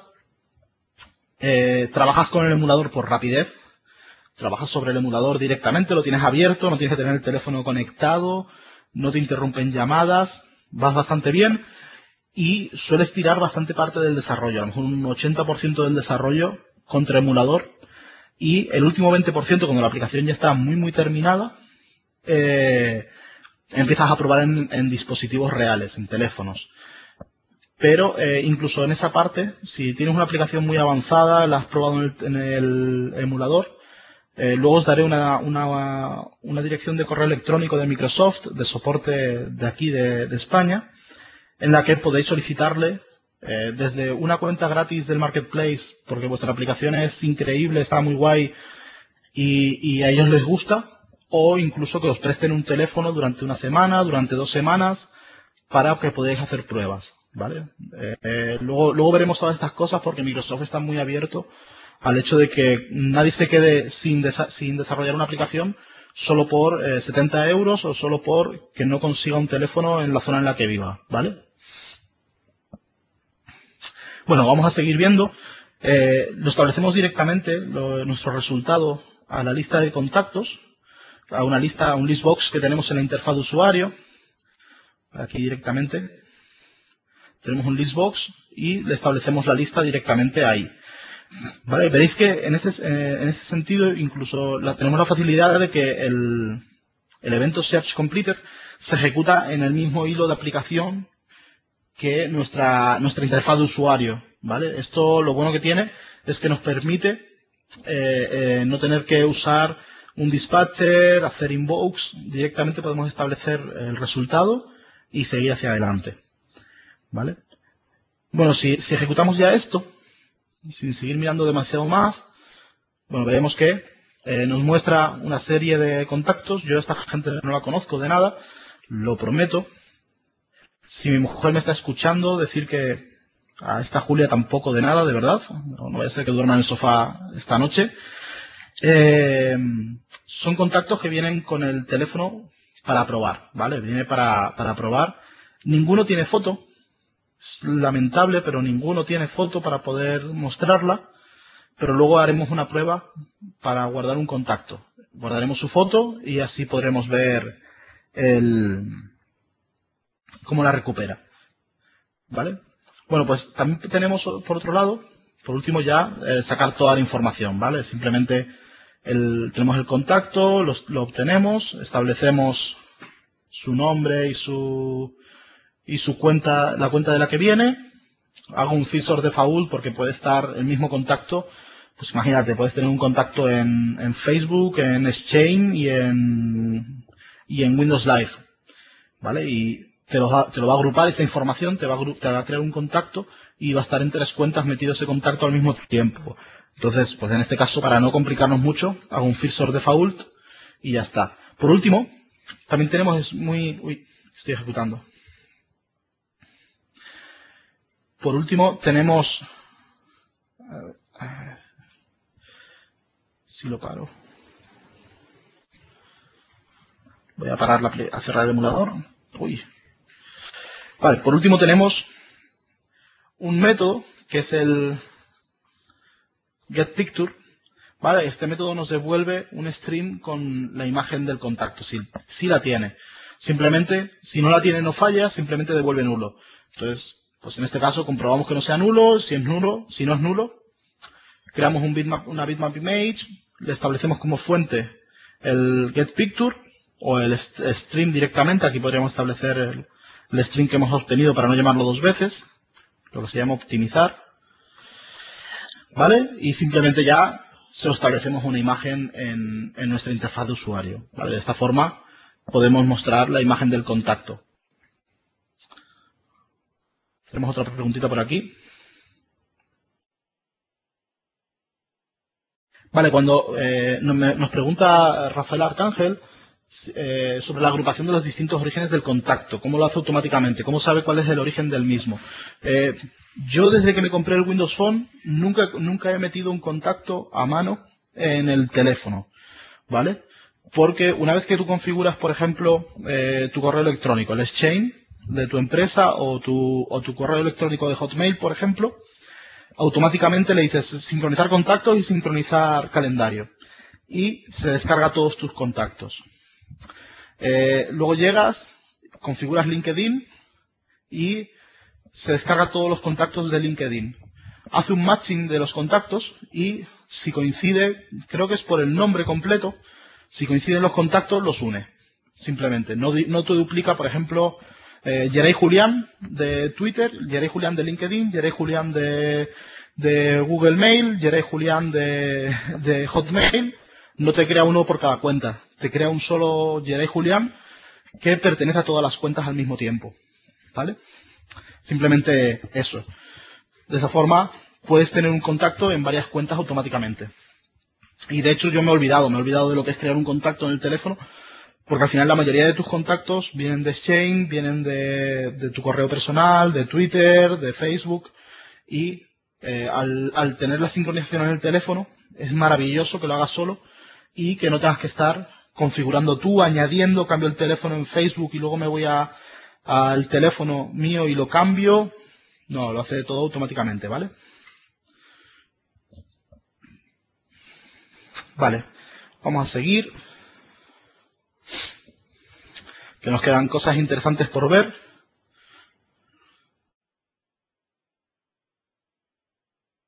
Vale, bueno, ya hemos visto los, los contactos. Vamos a... Os voy a hacer una demo. Se me ha, se me ha olvidado, perdón. Se llegan las, las 9 menos cuarto y ya mi cabeza no da para más. Eh, de cómo guardar un contacto, ¿vale? Por ejemplo. Tenemos eh, una tarea, un, un, lanzador que es el Safe Contact Task. Igual que el resto de lanzadores que hemos visto durante toda este, esta presentación, pues eh, tenemos eh, la clase SafeContactTask. Si creamos una instancia, tenemos todas las propiedades que puede tener un, contacto. ¿vale? Podemos rellenar una, ninguna, las que nosotros queramos. ¿vale? Simplemente las rellenamos y eh, una vez rellena, eh, podemos usar el, completed para recibir el resultado y el punto show para, perdón, eh, para mostrar la interfaz de usuario, ¿vale? y vamos a recibir pues lo mismo que en el, otro caso. El OK cuando se ha guardado correctamente, cancel si, si ha sido cancelado o un error aquí dentro en, la propiedad error cuando eh, haya ocurrido un error. Vale, vamos a lanzar esto. Vais a ver el, emulador cargando desde cero, que lo he cerrado. ¿Veis? ya está lanzado, está lanzando la aplicación. Es muy rápido, ¿vale? Es realmente no molesta demasiado. Si, estás lanzando la aplicación constantemente, sí que es eh, recomendable el, el, dejarlo abierto porque si no, pues se va sumando 10 segundos sobre 10 segundos y al final pierde dos horas. ¿Vale? Eh, si, si, estáis trabajando con el emulador y presionáis la tecla eh, repag, ¿vale? Retroceder página o avanzar página, con retroceder página os permite usar el teclado, el teclado físico, el teclado de vuestro PC, y con AVPAG recuperáis el, teclado del emulador. Es más cómodo si tenéis que escribir mucho, mucho texto. Es más cómodo usar el teclado. Lo tengo en, inglés. es más cómodo usar el teclado del, PC. no, no, hago caso ni a, mi ni a mi propia interfaz de usuario. Apellidos aquí, Julián. Vale, un email, pues aprovechad, corred, copiad el email. ¿Vale? Y bueno, teléfono. No me deja mi mujer poner el teléfono de casa, porque si no luego me llaman mucho por la noche y, se enfada. Vale, simplemente le damos a crear y bueno, aquí tenemos, ¿vale? Nos, nos muestra la interfaz normal del teléfono de cómo crear un contacto, ya con la información que le hemos dado rellena, pero también nos permite decir, ah, pues Rington, venga, ¿cuál? Pues eh, este de aquí, ¿vale? Eh, vamos a ponerle una foto, ¿vale? Le damos a, foto y nos permite seleccionar una foto, pues esta de aquí, que, está muy chula, ¿vale? Ponemos esta foto. El usuario está trabajando con los datos que nosotros le hemos lanzado más datos que sigue rellenando él. Y cuando acaba, pues dice guárdalo.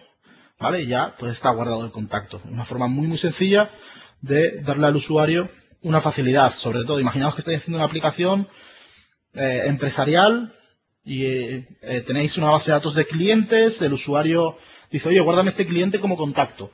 le das al botón, tú coges toda tu información, que ya es pues el teléfono del trabajo, dirección, eh, nombre, empresa, ya se lo pones, él solamente tiene que escoger una foto porque la tiene o escoger otro dato más, darle a guardar y le acabas de ahorrar pues 10 eh, minutos o 5 minutos, dependiendo de lo gordos que tengan los dedos, de escribir en el teclado en la pantalla de 3 pulgadas y media, ¿vale? Que mm, siempre eh, de cara al usuario, o sea, como usuario, siempre que nos ahorran un poco de trabajo lo agradecemos un montón. Entonces, pues, eh, luego ese usuario va a hablar bastante bien de tu aplicación, como mola, que funciona genial y, le ahorra un mogollón de trabajo y de, quebraderos de cabeza. está muy, muy bien. Vale, de la misma forma, pues vamos a recuperar la aplicación que teníamos antes, que eh, buscaba contactos, porque ahora hemos, guardado un contacto en el emulador con, foto, ¿vale? Que está aquí abajo, veréis Julián.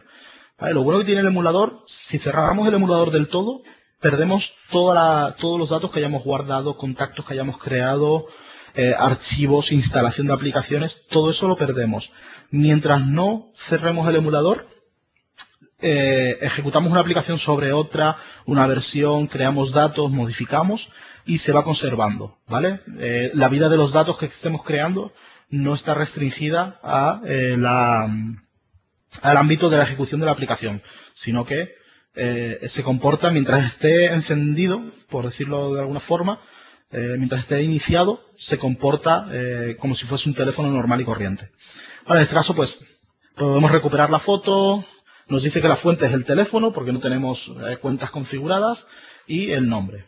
Simplemente para que veáis que sí que recuperar la foto, que no me lo había inventado, no eran mentiras mías, simplemente eso. Vale, aquí en la lista de aplicaciones eh, tenemos, como antes cerré el teléfono, se perdieron las demás y nos va añadiendo las aplicaciones automáticamente que hemos eh, ejecutado desde la última vez que iniciamos. Vale, vamos allá.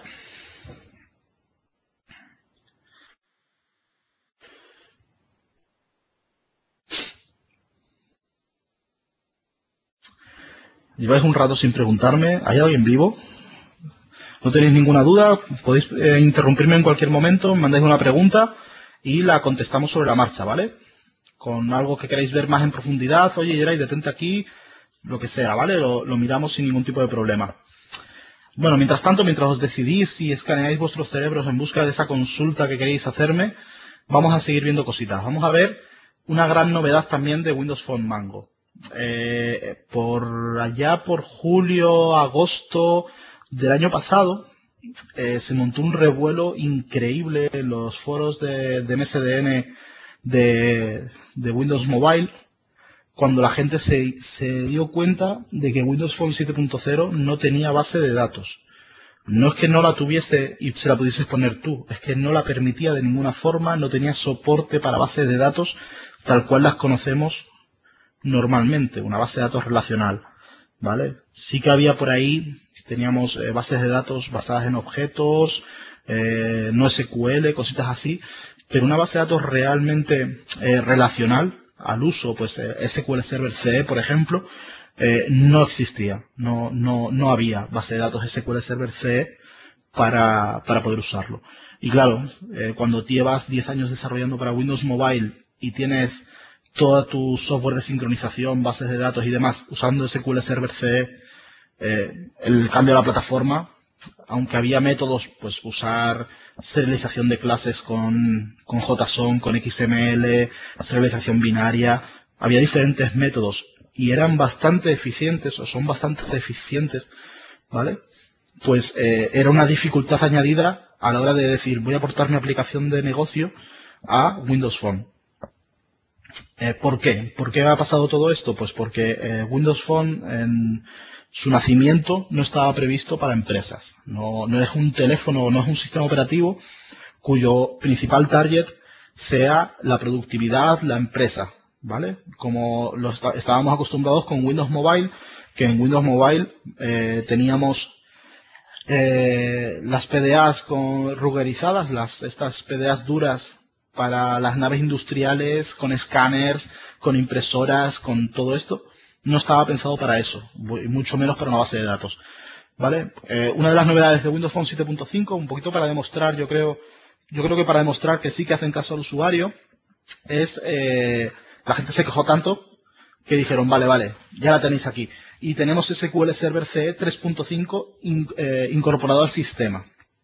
Cosas importantes no es un servidor de base de datos. Vamos a ver, es, nuestro teléfono, aunque tenga un gigahercio, 512 megas de RAM y, tropecientos núcleos o uno, sigue siendo un teléfono con una vida de batería eh, determinada y con unas condiciones de rendimiento determinados.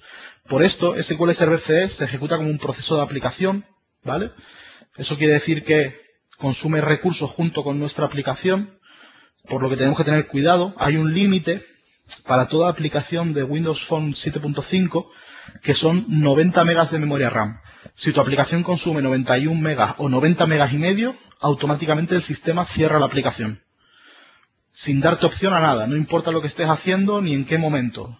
Hace un kill de la aplicación y se acabó, estás fuera. ¿Vale? Entonces, eh, tenemos que tener en cuenta eso. Otras cosas, eh, no podemos usar eh, sentencias para Transact SQL. O sea, el select asterisco from customers, where mm, date menor que esto, se acabó. No podemos hacer eso. Tampoco podemos usar, por supuesto, procedimientos almacenados. En su lugar, lo que tenemos es link to SQL. Vamos a hacer una encuesta. Quiero saber cuántos... A ver... Una nueva encuesta.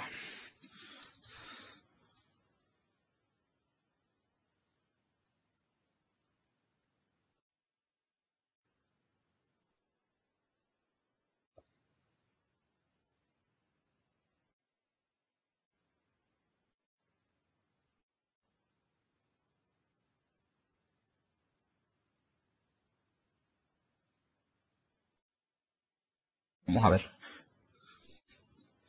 ¿Quién conoce LinkQ? ¿Conoces LinkQ? Sí, no. Desearía no haberlo conocido nunca jamás en mi vida. Es mi peor pesadilla. ¿Vale? Bueno, por lo menos vamos muy bien porque, uy, a, uno no le gusta. Dios mío. Pobrecito, ¿qué le, habrá hecho LinkQ? LinkQ es muy buena gente. Bueno, veo que la mayoría conocéis LinkQ. Voy a coger solo dos minutitos para explicar un poquito rápido qué es LinkQ para, para las personas que no, que no lo han conocido. Vale, LinkQ es un lenguaje integrado de consultas que eh, nació, si no me equivoco eh, del todo, con .NET 3.0. 3.0, 3.5. La verdad es que no lo tengo muy claro. Os miento. Si, os digo la verdad, os miento. Em, básicamente lo que nos permite es, con un lenguaje, eh, unas expresiones de consultas tipadas, como parte del lenguaje de desarrollo, en este caso C Sharp, realizar consultas a fuentes de datos. Teniendo en cuenta que una fuente de datos para LinkQ puede ser un objeto, una lista de objetos, eh, una lista de controles de la interfaz de usuario, eh, una base de datos o cualquier otra eh, fuente capaz de ser enumerable y queryable, ¿no? de ser consultable. Un poquitito, es una definición horrible, lo siento, pero bueno, es una definición muy muy cortita de qué es LinkQ, ¿vale? Para los que los que no lo, no lo conozcan, y es es un sistema en el que la primera vez que lo ves tienes esa, esa reacción de Dios mío, ¿qué es esto? Pero, mm, eh, pero que una vez que lo conoces no puedes vivir sin él. O sea, es yo después de mis, de mis tres hijos preciosos y de mi mujer, lo más bonito que me ha pasado en mi vida es conocer a LinkQ. De verdad. A ver, tenemos una pregunta de Rafael. Esto te permitiría de forma similar con Android utilizar mi base de datos para almacenar información de tu aplicación. Sí, sí. Eh, de esta forma, eh, Rafael nos pregunta si con esto podríamos tener mini bases de datos para almacenar información. Eh, para mini bases de datos podemos serializar clases usando el almacenamiento aislado y, y serializadores XML o serializadores JSON para guardar 20 o 30 o 40 registros ¿vale? O eh, incluso tenemos eh, una clase que es el Isolated Storage Settings, que nos permite guardar settings de aplicación directamente de una forma muy, muy sencilla. Eh, Link to SQL yo os digo que no es un servidor, que no hay que pasarse. Cuando os digo que no hay que pasarse, yo he hecho pruebas de recuperar 30.000 registros o 20.000 registros con Link to SQL de una tabla customers con 4, 5, 6 campos en la tabla y eh, crearle la conexión a la base de datos, abrirla y meterte en la base de datos, recuperar los, los 20.000 registros, no llega al segundo de tiempo. ¿Vale? Es muy, muy rápido. Y eh, el consumo de memoria es muy estable. Lo que no puedes hacer es esperar tener 5 millones de registros, o 10, o 20, o un millón de registros. O sea, una cantidad realmente exagerada y que funcione decentemente y que tu aplicación no consuma una auténtica burrada de memoria. ¿Vale? Para, mí, eh, tener un millón de registros o 100.000 o 30.000 incluso eh, en, el teléfono, creo que no, no debería haber un porqué, ¿vale? Yo creo que eh, en un día, si te sientas, no podrías revisar 30.000 fichas en 8 horas, no podrías revisar 30.000 fichas de, clientes dentro de un teléfono, ¿vale? Si te pones a mirarlas y a leerlas cada una, es imposible que revises 30.000. ¿vale? Y hay formas, la gente dice, bueno, pero es que tengo un comercial en la calle y claro, tiene que llevarse...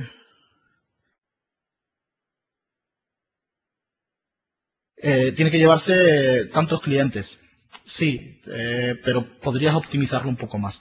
Nos pregunta Alonso, que ha hecho las mismas pruebas que yo digo y, ups, ya me pilló.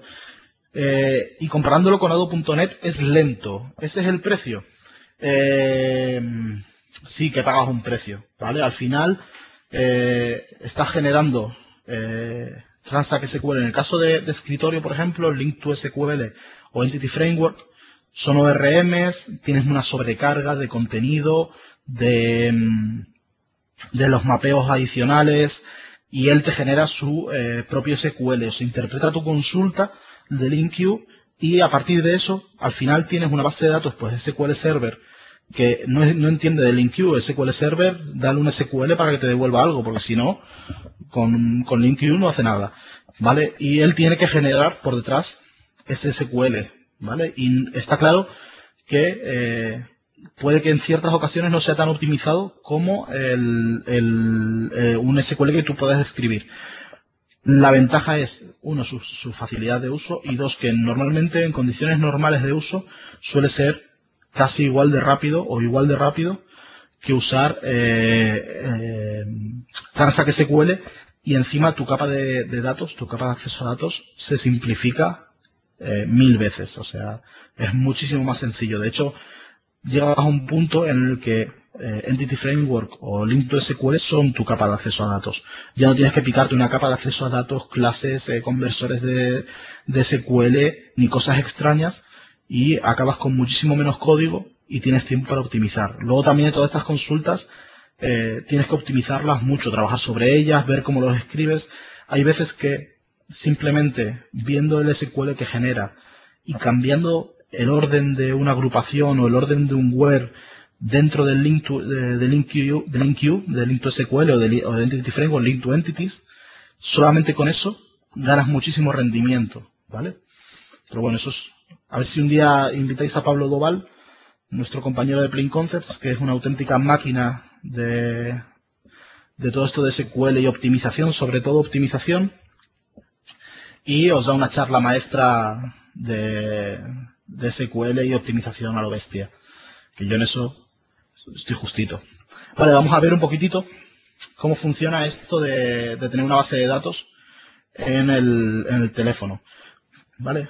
Otra cosa que, que, no le gusta mucho a la gente, no le está gustando mucho, a mí me encanta de, de SQL CRCE para Windows Phone, es que es un poquitito, como lo podríamos llamar, eh, code first, ¿vale? Eh, no tenemos un diseñador de bases de datos que nos generen directamente nuestras tablas y de eso código vamos a partir de clases, ¿vale? Vamos a definir clases y eh, luego esas clases se van a mapear, a, van a crear la base de datos por detrás de, la aplicación.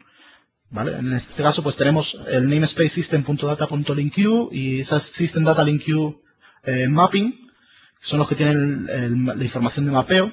Y vamos a crear una clase normal y corriente, simplemente adornándola con atributos, en este caso pues la tabla, el nombre de tabla, que esto es una columna que se genera por la base de datos, que es primary key, pues eh, otras columnas estándar, simplemente usando propiedades estándar, definiendo los tipos, él va a crear luego eh, la tabla por detrás. ¿Cómo se, nos conectamos a esta base de datos que ni siquiera existe porque estamos generándola por código? Tenemos otra clase que hereda de, la clase base DataContext, que nos va a permitir, pasándole una cadena de conexión, eh, obtener estas tablas desde, desde la base de datos. ¿vale? Una vez que tengamos esto, en nuestra clase, en este caso, pues, por ejemplo, en, nuestro, en nuestra página principal, en el constructor, vamos a hacer con un using lo que es una unidad de trabajo. Vamos a abrir un contexto de datos y vamos a decirle al dbContext sobre qué, contra qué se tiene que conectar. En este caso, pues, ¿os acordáis de, las eh, URIs eh, que habíamos visto? appdata dos y su store dos puntos barra. Simplemente le vamos a establecer su contexto. Como veis, los archivos son SDF, archivos eh, normales y corrientes de SQL Server CE. Vamos a, y dentro de este contexto ya vamos a tener todas las operaciones normales de nuestra base de datos. En este caso, pues, podemos eh, preguntar si la, eh, si la base de datos existe. ¿Vale? Si no existe, la vamos a crear. Y después de crearla, pues me voy, a instanciar la clase customer. Voy a crear un customer. Lo voy a, eh, dentro de la clase context, una colección que es customers, ¿vale? Que es mi colección de mi tabla customer en la base de datos SDF eh, de SQL Server CE y voy a usar el método insert on submit, ¿vale? Insértalo cuando, cuando lo cuando envíes la información y le paso mi instancia de, de customer. ¿Vale? A continuación, con esto todavía no hemos hecho nada, no hemos, no hemos alterado eh, físicamente la base de datos. llamamos a submit change, que lo que hace es enviar todos los cambios contra eh, el archivo ya SDF, contra la base de datos y persistirlos. ¿vale? Es muy sencillo acceder a, todo esto y veréis que hay un cambio en el concepto. ¿vale? Link, Link to SQL nos propone un cambio de concepto.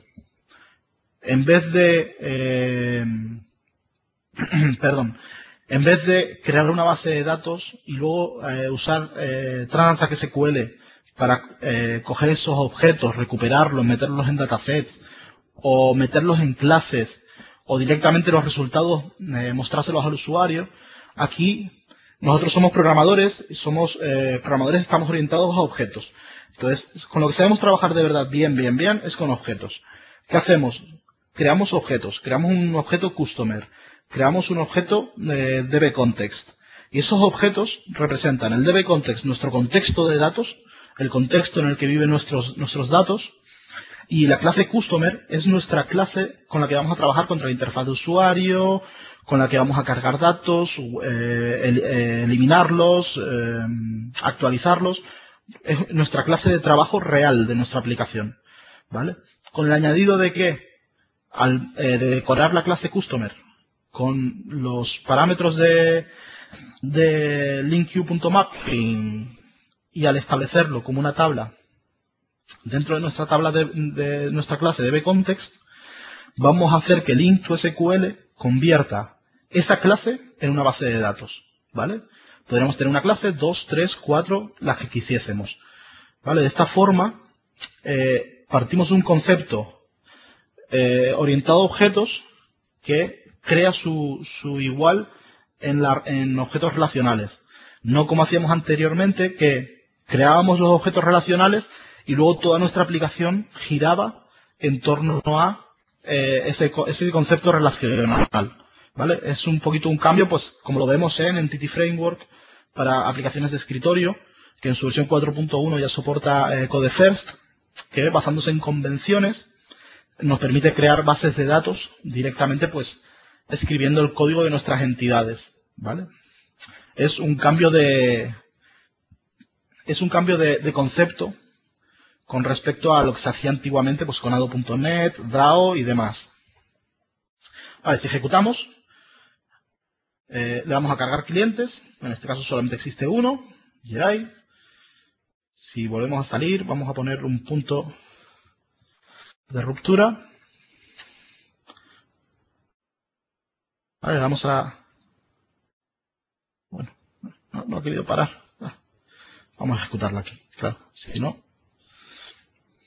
Vale, eh, nuestro contexto tiene una tabla, una tabla de tipo eh, customers. Estamos basados en, el system.data.linkq.dataContext y pues tenemos eh, toda la información de, del data context. Nos dice que nuestra base de datos ya existe. Creamos la nueva instancia de customer que por defecto está vacía. Establecemos sus propiedades Ahora ya tenemos la información. Fijaos que Customer ID está a cero. Lo añadimos a la tabla. Customer ID sigue a cero, que era autonumérico, ¿os acordáis? Generado por la base de datos. Y hacemos un submit change. En este momento ya tenemos nuestro ID automáticamente dentro de nuestra clase. Podemos seguir trabajando con ella y ya tiene su ID real devuelto.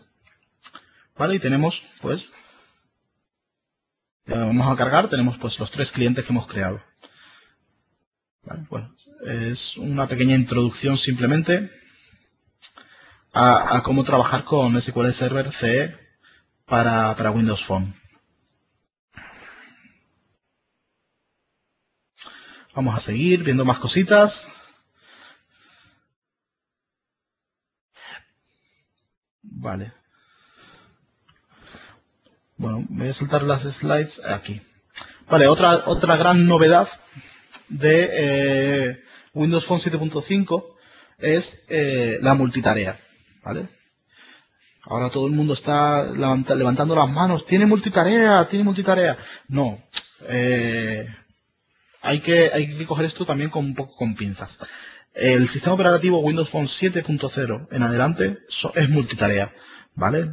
Eh, le pasa un poco lo que pasaba a, iPhone 3G, 3GS, que el sistema sí que era multitarea, pero las aplicaciones de terceros no. Eso no ha cambiado, ¿vale? Nosotros solo podemos tener una aplicación activa al mismo tiempo y es la que se esté mostrando en la pantalla. Si abrimos Spotify, que ya tenemos Spotify, ha sido lanzado hoy al mercado, si abrimos Spotify, eh, solo tenemos Spotify. Una vez que, salgamos de Spotify y vayamos a otra aplicación, hemos salido de Spotify. Ya no, está Spotify funcionando, no va a procesar. ¿Vale? Pero Microsoft dice, bueno, pero nosotros queremos que la gente tenga la, impresión de que esto es súper multitarea, de que todo se sigue ejecutando. Y eh, para eso, en Windows Phone 7.0 teníamos el tombstoning, ¿vale? Lo seguimos teniendo ahora también, pero veremos con un par de cambios. El tombstoning lo que hacía es que cuando la aplicación se cerraba, lanzaba un evento de desactivación entonces nosotros cogíamos como hormiguitas todos los datos que teníamos importantes, los guardábamos en, el almacenamiento aislado y cuando el usuario volvía a nuestra aplicación, si volvía, recibíamos el evento de activación. En ese momento, cuando recibíamos ese evento de activación, cargábamos todos esos datos que teníamos guardados y eh, cuando el usuario veía la pantalla volvía a ver todos sus datos. ¿vale? No funcionaba eh, exactamente, no, te daba esa impresión de que eh, la aplicación había quedado perfectamente en segundo plano, sobre todo porque tenías una, barra, de progreso y ponía reanudando. Y poco que tardase, tardaba uno o dos segundos en volver a reanudar la aplicación porque la, estaba iniciando de nuevo. ¿Vale? Esto se ha cambiado en Windows Phone 7.5, es una de las mayores novedades y eh, tenemos lo que se llama el FAS, el Fast Application Switching, el intercambio rápido de aplicaciones han, incorporado eh, cambios en el ciclo de vida de la aplicación, han añadido un nuevo estado de aplicación que es el estado dormant, el estado durmiente, ¿vale? Y que nos va a evitar, en la medida de lo posible, eh, realizar el tombstoning, ¿vale? Aquí tenemos este gráfico súper chulo, con colores, que nos indica un poco, con flechitas, eh, los estados de la aplicación, ¿vale? al principio tenemos la aplicación lanzada, una vez que la hemos lanzado, pues la, aplicación está ejecutándose y el usuario le da el menú inicio o llega un email o llega un mensaje, eh, llega una llamada, cualquier cosa. Eh, la aplicación sale, ¿vale? El usuario sale de la aplicación. En ese momento que sale de la aplicación nos sigue llegando el mensaje de aplicación desactivada, recibimos ese evento de aplicación desactivada y podemos seguimos guardando la información pues en una base de datos SQL Server CE, en una, base, en eh, una clase XML donde mejor queramos y podamos. Pero hay una diferencia y es que en este momento, con Windows Phone 7.5, la aplicación no se cierra y desaparece. La aplicación se va a quedar dormida. ¿Qué significa que la aplicación se va a quedar dormida? Y, eh, no es que ronque. La aplicación va a guardarse en memoria, se va a cortar la ejecución de todos los hilos de la aplicación, todo el proceso va a parar pero va a quedar una imagen perfecta de lo que estamos haciendo en ese momento en memoria. ¿Vale? Si el usuario vuelve de nuevo a nuestra aplicación, no vamos a tener que realizar el tombstoning porque, o sea, no vamos a tener que recuperar esa información porque tenemos esa, aplicación, esa imagen de nuestra aplicación en memoria. Con lo cual, lo único que va a hacer es cargar de nuevo esa imagen y mostrársela al usuario. Con lo cual, el resultado es que tenemos la imagen perfecta, tenemos la aplicación perfecta justo en el momento en el que estábamos. ¿Vale?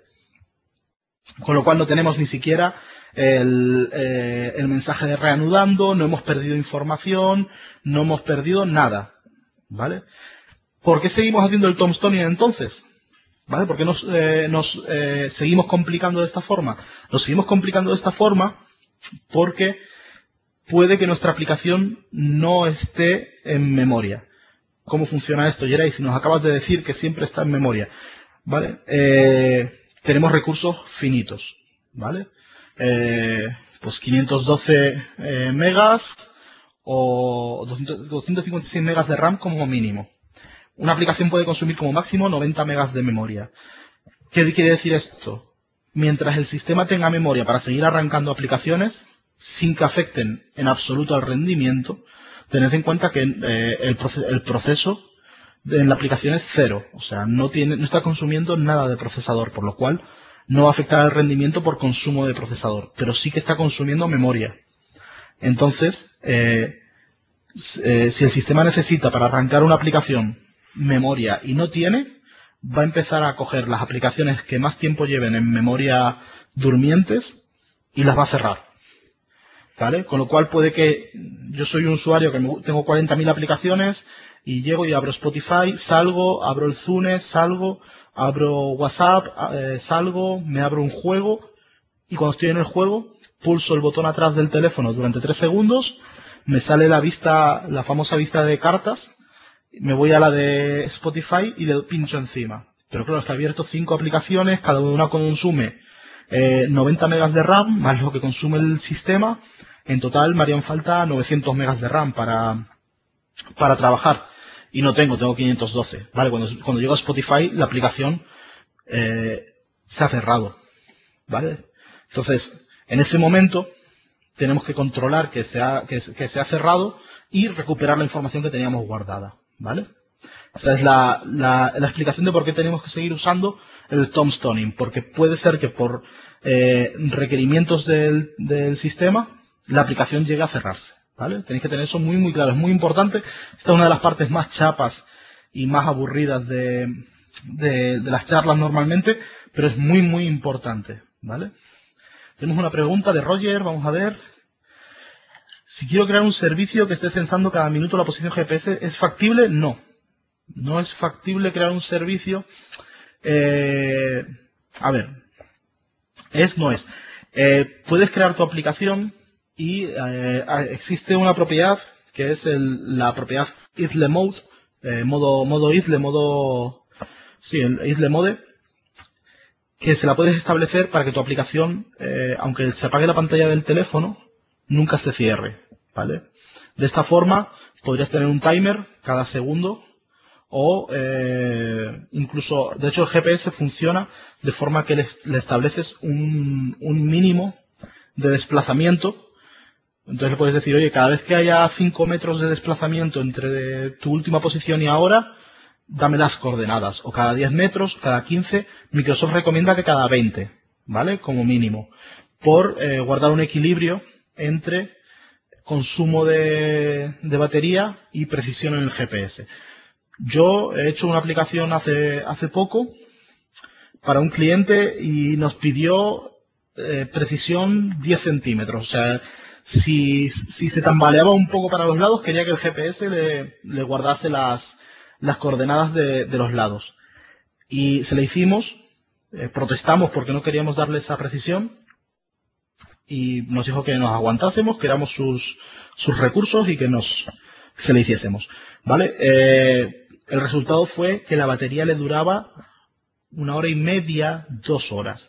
En dos horas de uso, el móvil se quedaba a 0% de batería. Porque el GPS consume muchísimas. Es algo que de siempre, por mucho que se haya mejorado, siempre ha consumido muchísima batería. Entonces, eh, se lo cambiamos, se lo pusimos para un desplazamiento cada 10 metros y pasamos de 2 horas a 10. ¿Vale? Entonces, eh, la pregunta, ¿puedes crear un servicio que, cada, que, te guarde la posición cada, minuto? Eh, en Windows Phone, más que cada minuto sería pues cada X tiempo de desplazamiento. ¿vale? También puedes decirle que te, eh, que te dé la, posición cada X minutos usando un timer. Puedes forzarlo usando un timer. Es factible hacerlo, no es como un servicio que está en background y que no lo conoces, sino que tu aplicación puede quedarse abierta y guardar la, información, ¿vale? Pero eso sí, en, el momento en el que el usuario la cierre, o sea, salga de la aplicación eh, o, entre una llamada, en ese momento tu aplicación, aunque quede en estado dormida, va a quedar eh, en memoria sin ningún tipo de proceso y no va a recibir coordenadas. ¿Vale? Bueno, vamos a seguir viendo aquí.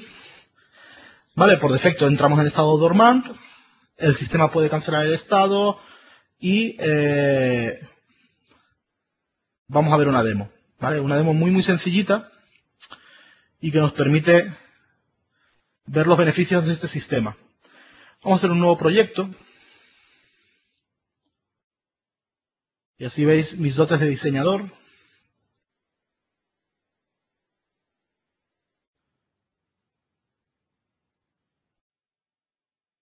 Vamos a usar un proyecto de Silverlight para Windows Phone mejor.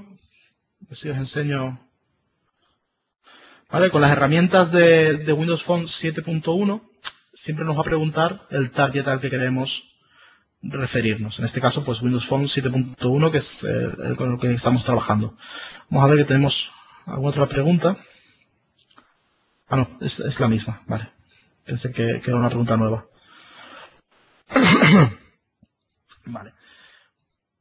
Bueno, vamos a poner, vamos a hacer un, una de- un ejemplo sencillito. Cogemos un text box en el que podemos escribir.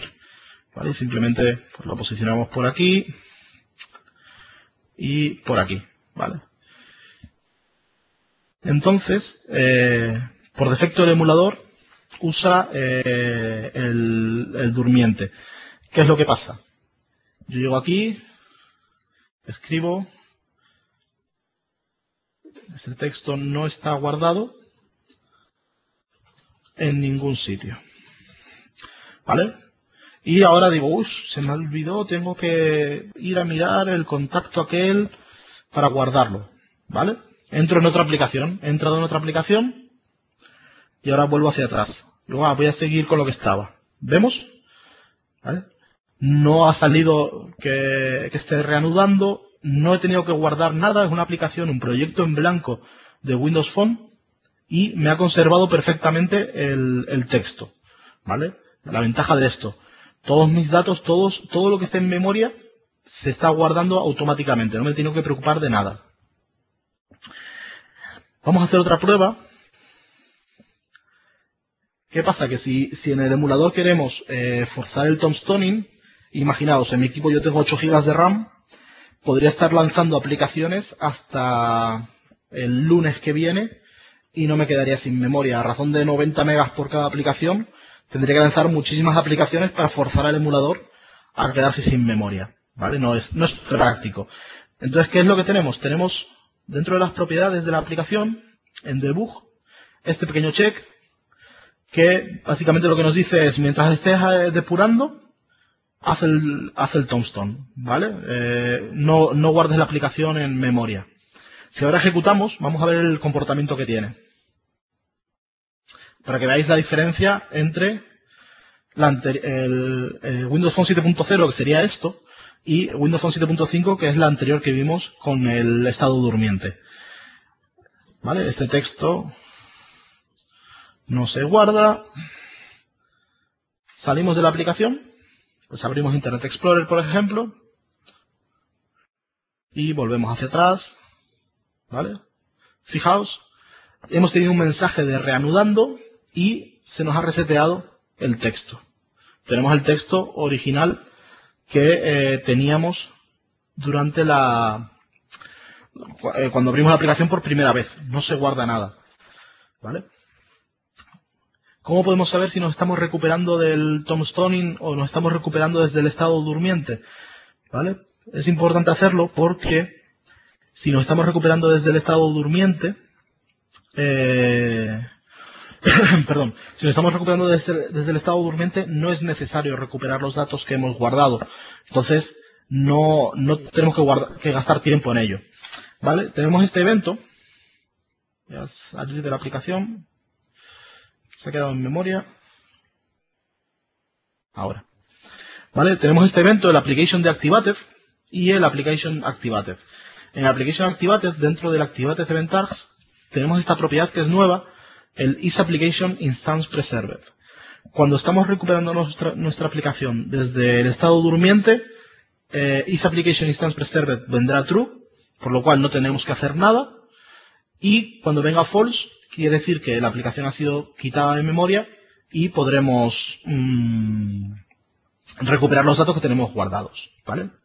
Bueno, vamos a seguir. Se nos va yendo el tiempo.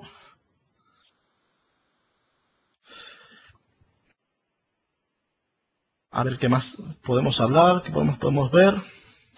Vale, vamos a ver un poquito las tareas en segundo plano. No nos queda mucho tiempo, pero bueno, vamos a verlas un poco por encima. ¿Vale? Eh, con Windows Phone 7.5 podemos tener tareas en segundo plano que se ejecuten de forma eh, periódica o intensivamente. Tenemos esos dos tipos, tareas periódicas o tareas, intensivas. Eh, a la hora de registrarla, vamos a, decidir el tipo. La registramos desde nuestra aplicación, lanzándola desde nuestra aplicación. Y vamos a tener ciertas limitaciones, tanto en duración como en memoria como en ejecución. ¿Qué significa esto? perdón. Las tareas periódicas solo pueden ejecutarse durante 15 segundos, solo pueden consumir un 10% de, de, la CPU del dispositivo y eh, solo pueden consumir 5 megas de, de, memoria RAM como máximo. ¿Vale? Aparte de esto, se programan para lanzarse cada 30 minutos. No se pueden lanzar cada minuto, cada 10, cada 15 segundos. Es un parámetro de lanzamiento único que es cada 30 minutos con un desvío de más o menos 10 minutos. ¿Por qué ese desvío? Para ahorrar batería el sistema agrupa, eh, hace grupos de tareas eh, periódicas intenta ajustarse a una media de tiempo para eh, ir lo más justo a los 30 minutos, pero puede ser que nos ejecutemos 5 minutos más tarde, 3 minutos antes. No el, el 30 minutos es un valor medio. ¿vale? Por otro lado, las tareas intensivas eh, no tienen un, límite de, no tienen un, una, un periodo de, de, ejecución, o sea, no se ejecutan cada 30 minutos, se ejecutan siempre que el teléfono tenga eh, eh, corriente externa y esté conectado a la Wi-Fi se, y la batería esté por encima del 90%, se van a ejecutar. Pueden durar hasta un máximo de 10 minutos, solo pueden consumir 5 megas de memoria pero no tienen restricción en cuanto al consumo de procesador. ¿Vale? Son, eh, son unos límites bastante, bastante ajustados. Están bastante, bastante ajustados. Tenemos una pregunta por aquí.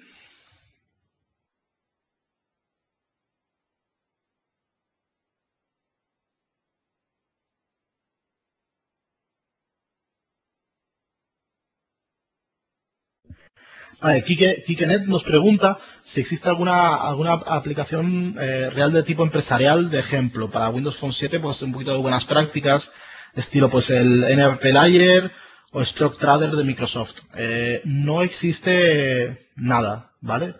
Eh, tienes en mi blog un montón de ejemplos de buenas prácticas en cuanto a usar MVVM, en cuanto a usar em, pruebas unitarias, acceso a servicios WCF y un poquito voy recomendando pues qué es lo mejor usar en cada momento y así pues tienes un montón de blogs, tienes el centro de desarrollo de MSDN, pero no hay algo, aunque es buena idea, me lo apunto para ver si encuentro a, alguien que quiera meterse en el problema, digo, en la oportunidad de crear una aplicación de ese tipo, porque creo que, sí podría ser interesante, ¿vale? Estate atento a mi, a mi Twitter que ya verás cómo, cómo rápido sale algo. Vale, vamos a usar una, una, una, aplicación de tipo agente. Me voy a dar prisa porque ya estamos en el límite de tiempo. Vale, tenemos, os acordáis que tenemos un nuevo proyecto que era el Exceluded. Eh, a ver, tenemos otra pregunta. Eh, nos pregunta Roger si podemos publicar aplicaciones de manera interna con Windows Phone 7.5. Eh, sí y no. Tenemos un marketplace eh, privado, ¿vale? Que básicamente es que la aplicación se queda oculta, no se puede ver desde el marketplace público y solo se puede descargar con una URL que nosotros le demos a nuestro cliente o a nuestro empleado. Pero cualquiera que tenga esa URL se la puede descargar. Es la única forma de eh, tener una distribución privada, pasando por el marketplace con el marketplace eh, privado. Es la única forma. Vale, bueno, eh, vamos a, a, resumir bastante. Eh, usamos los, los agentes para, para, ejecutarse que están dentro con el código de microsoft.phone.scheduler. ¿Vale? Y cada aplicación solo puede tener un agente registrado, aunque el agente puede ser de tanto de tipo periódico como de tipo intensivo. Vale, pues las restricciones os comentaba un poquitito.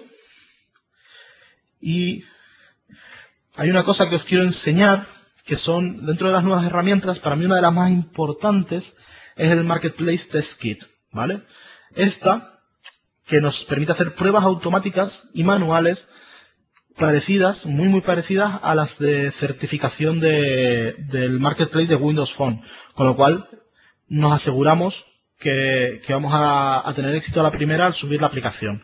Luego hay también otra herramienta que es el Performance Analysis Tool, Hemos estado hablando, mi aplicación, la gente no puede consumir más de 5 megas, la aplicación no puede consumir más de 90, cargo imágenes, eh, ahora esto fuga memoria, que lenta va la aplicación, ¿vale?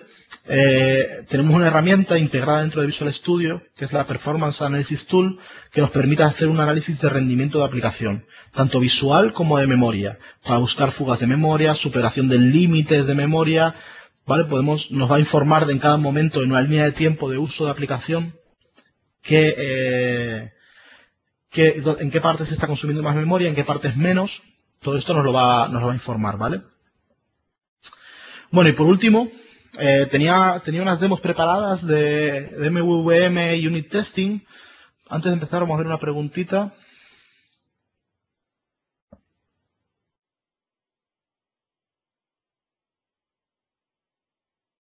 Vale, nos, pregunta Alonso si, si tengo que tiene un LG con Windows Phone y que si desea instalar su aplicación, una aplicación de pruebas, si tiene que eh, pasar por el Marketplace.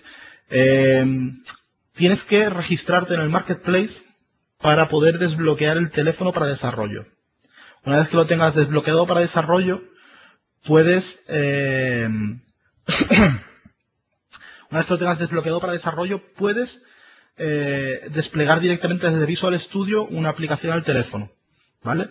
Pero primero tienes que registrarte en el Marketplace, pagar la licencia del Marketplace para poder registrar el teléfono como un teléfono de desarrollador. ¿Vale?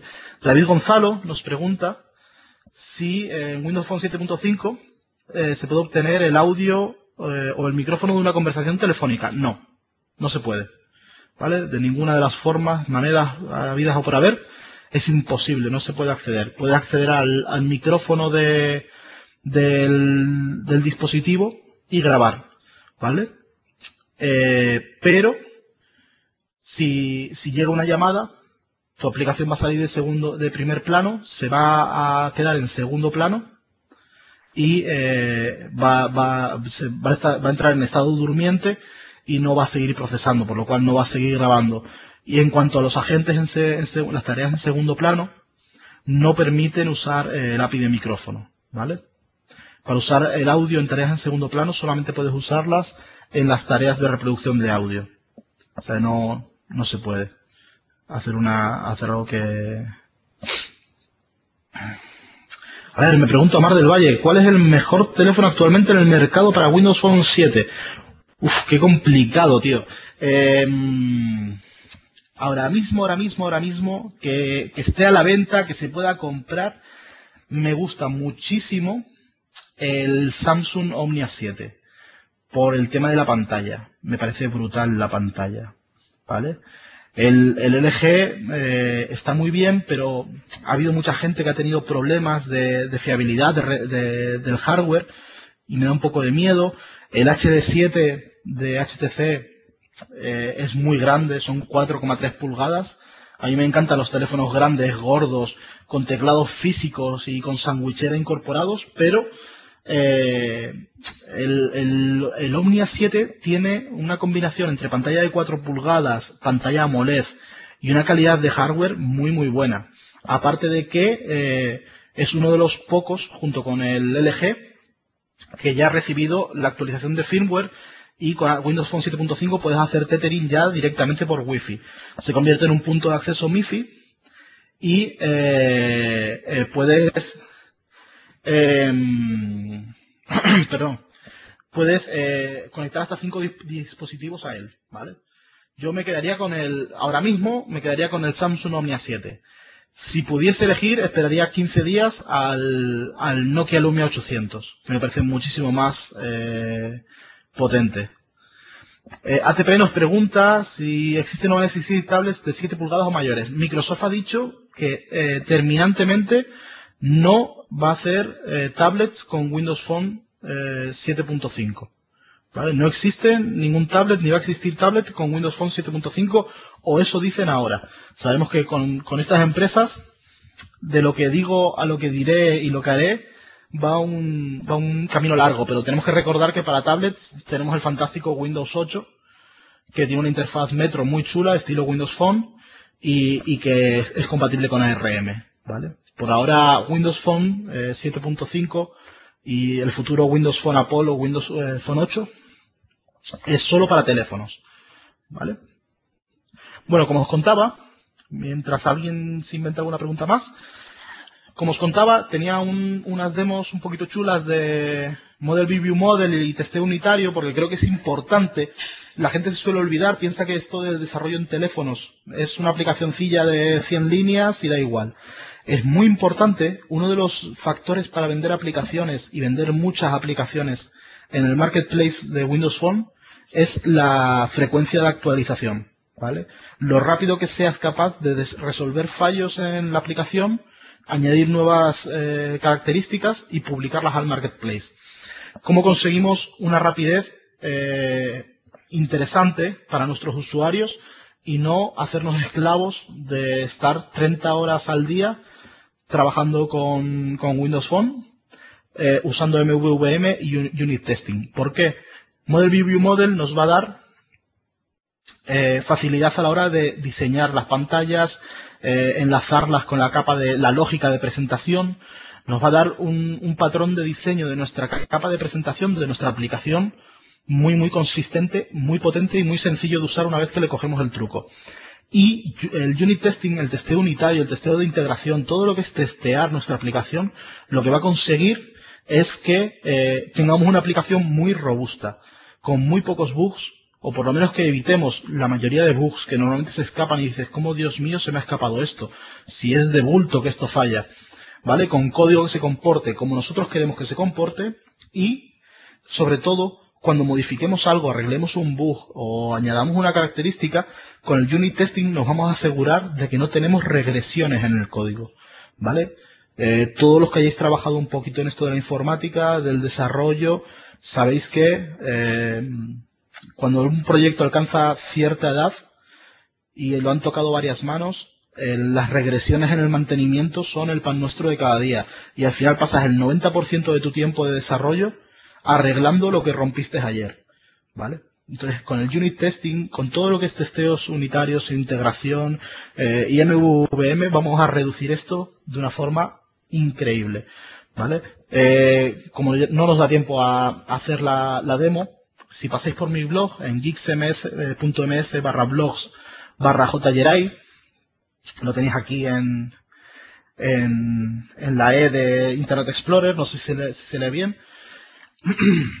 si pasáis por allí, tenéis artículos sobre MVM, Unit Testing para Windows Phone y, varias cosillas más, ¿vale?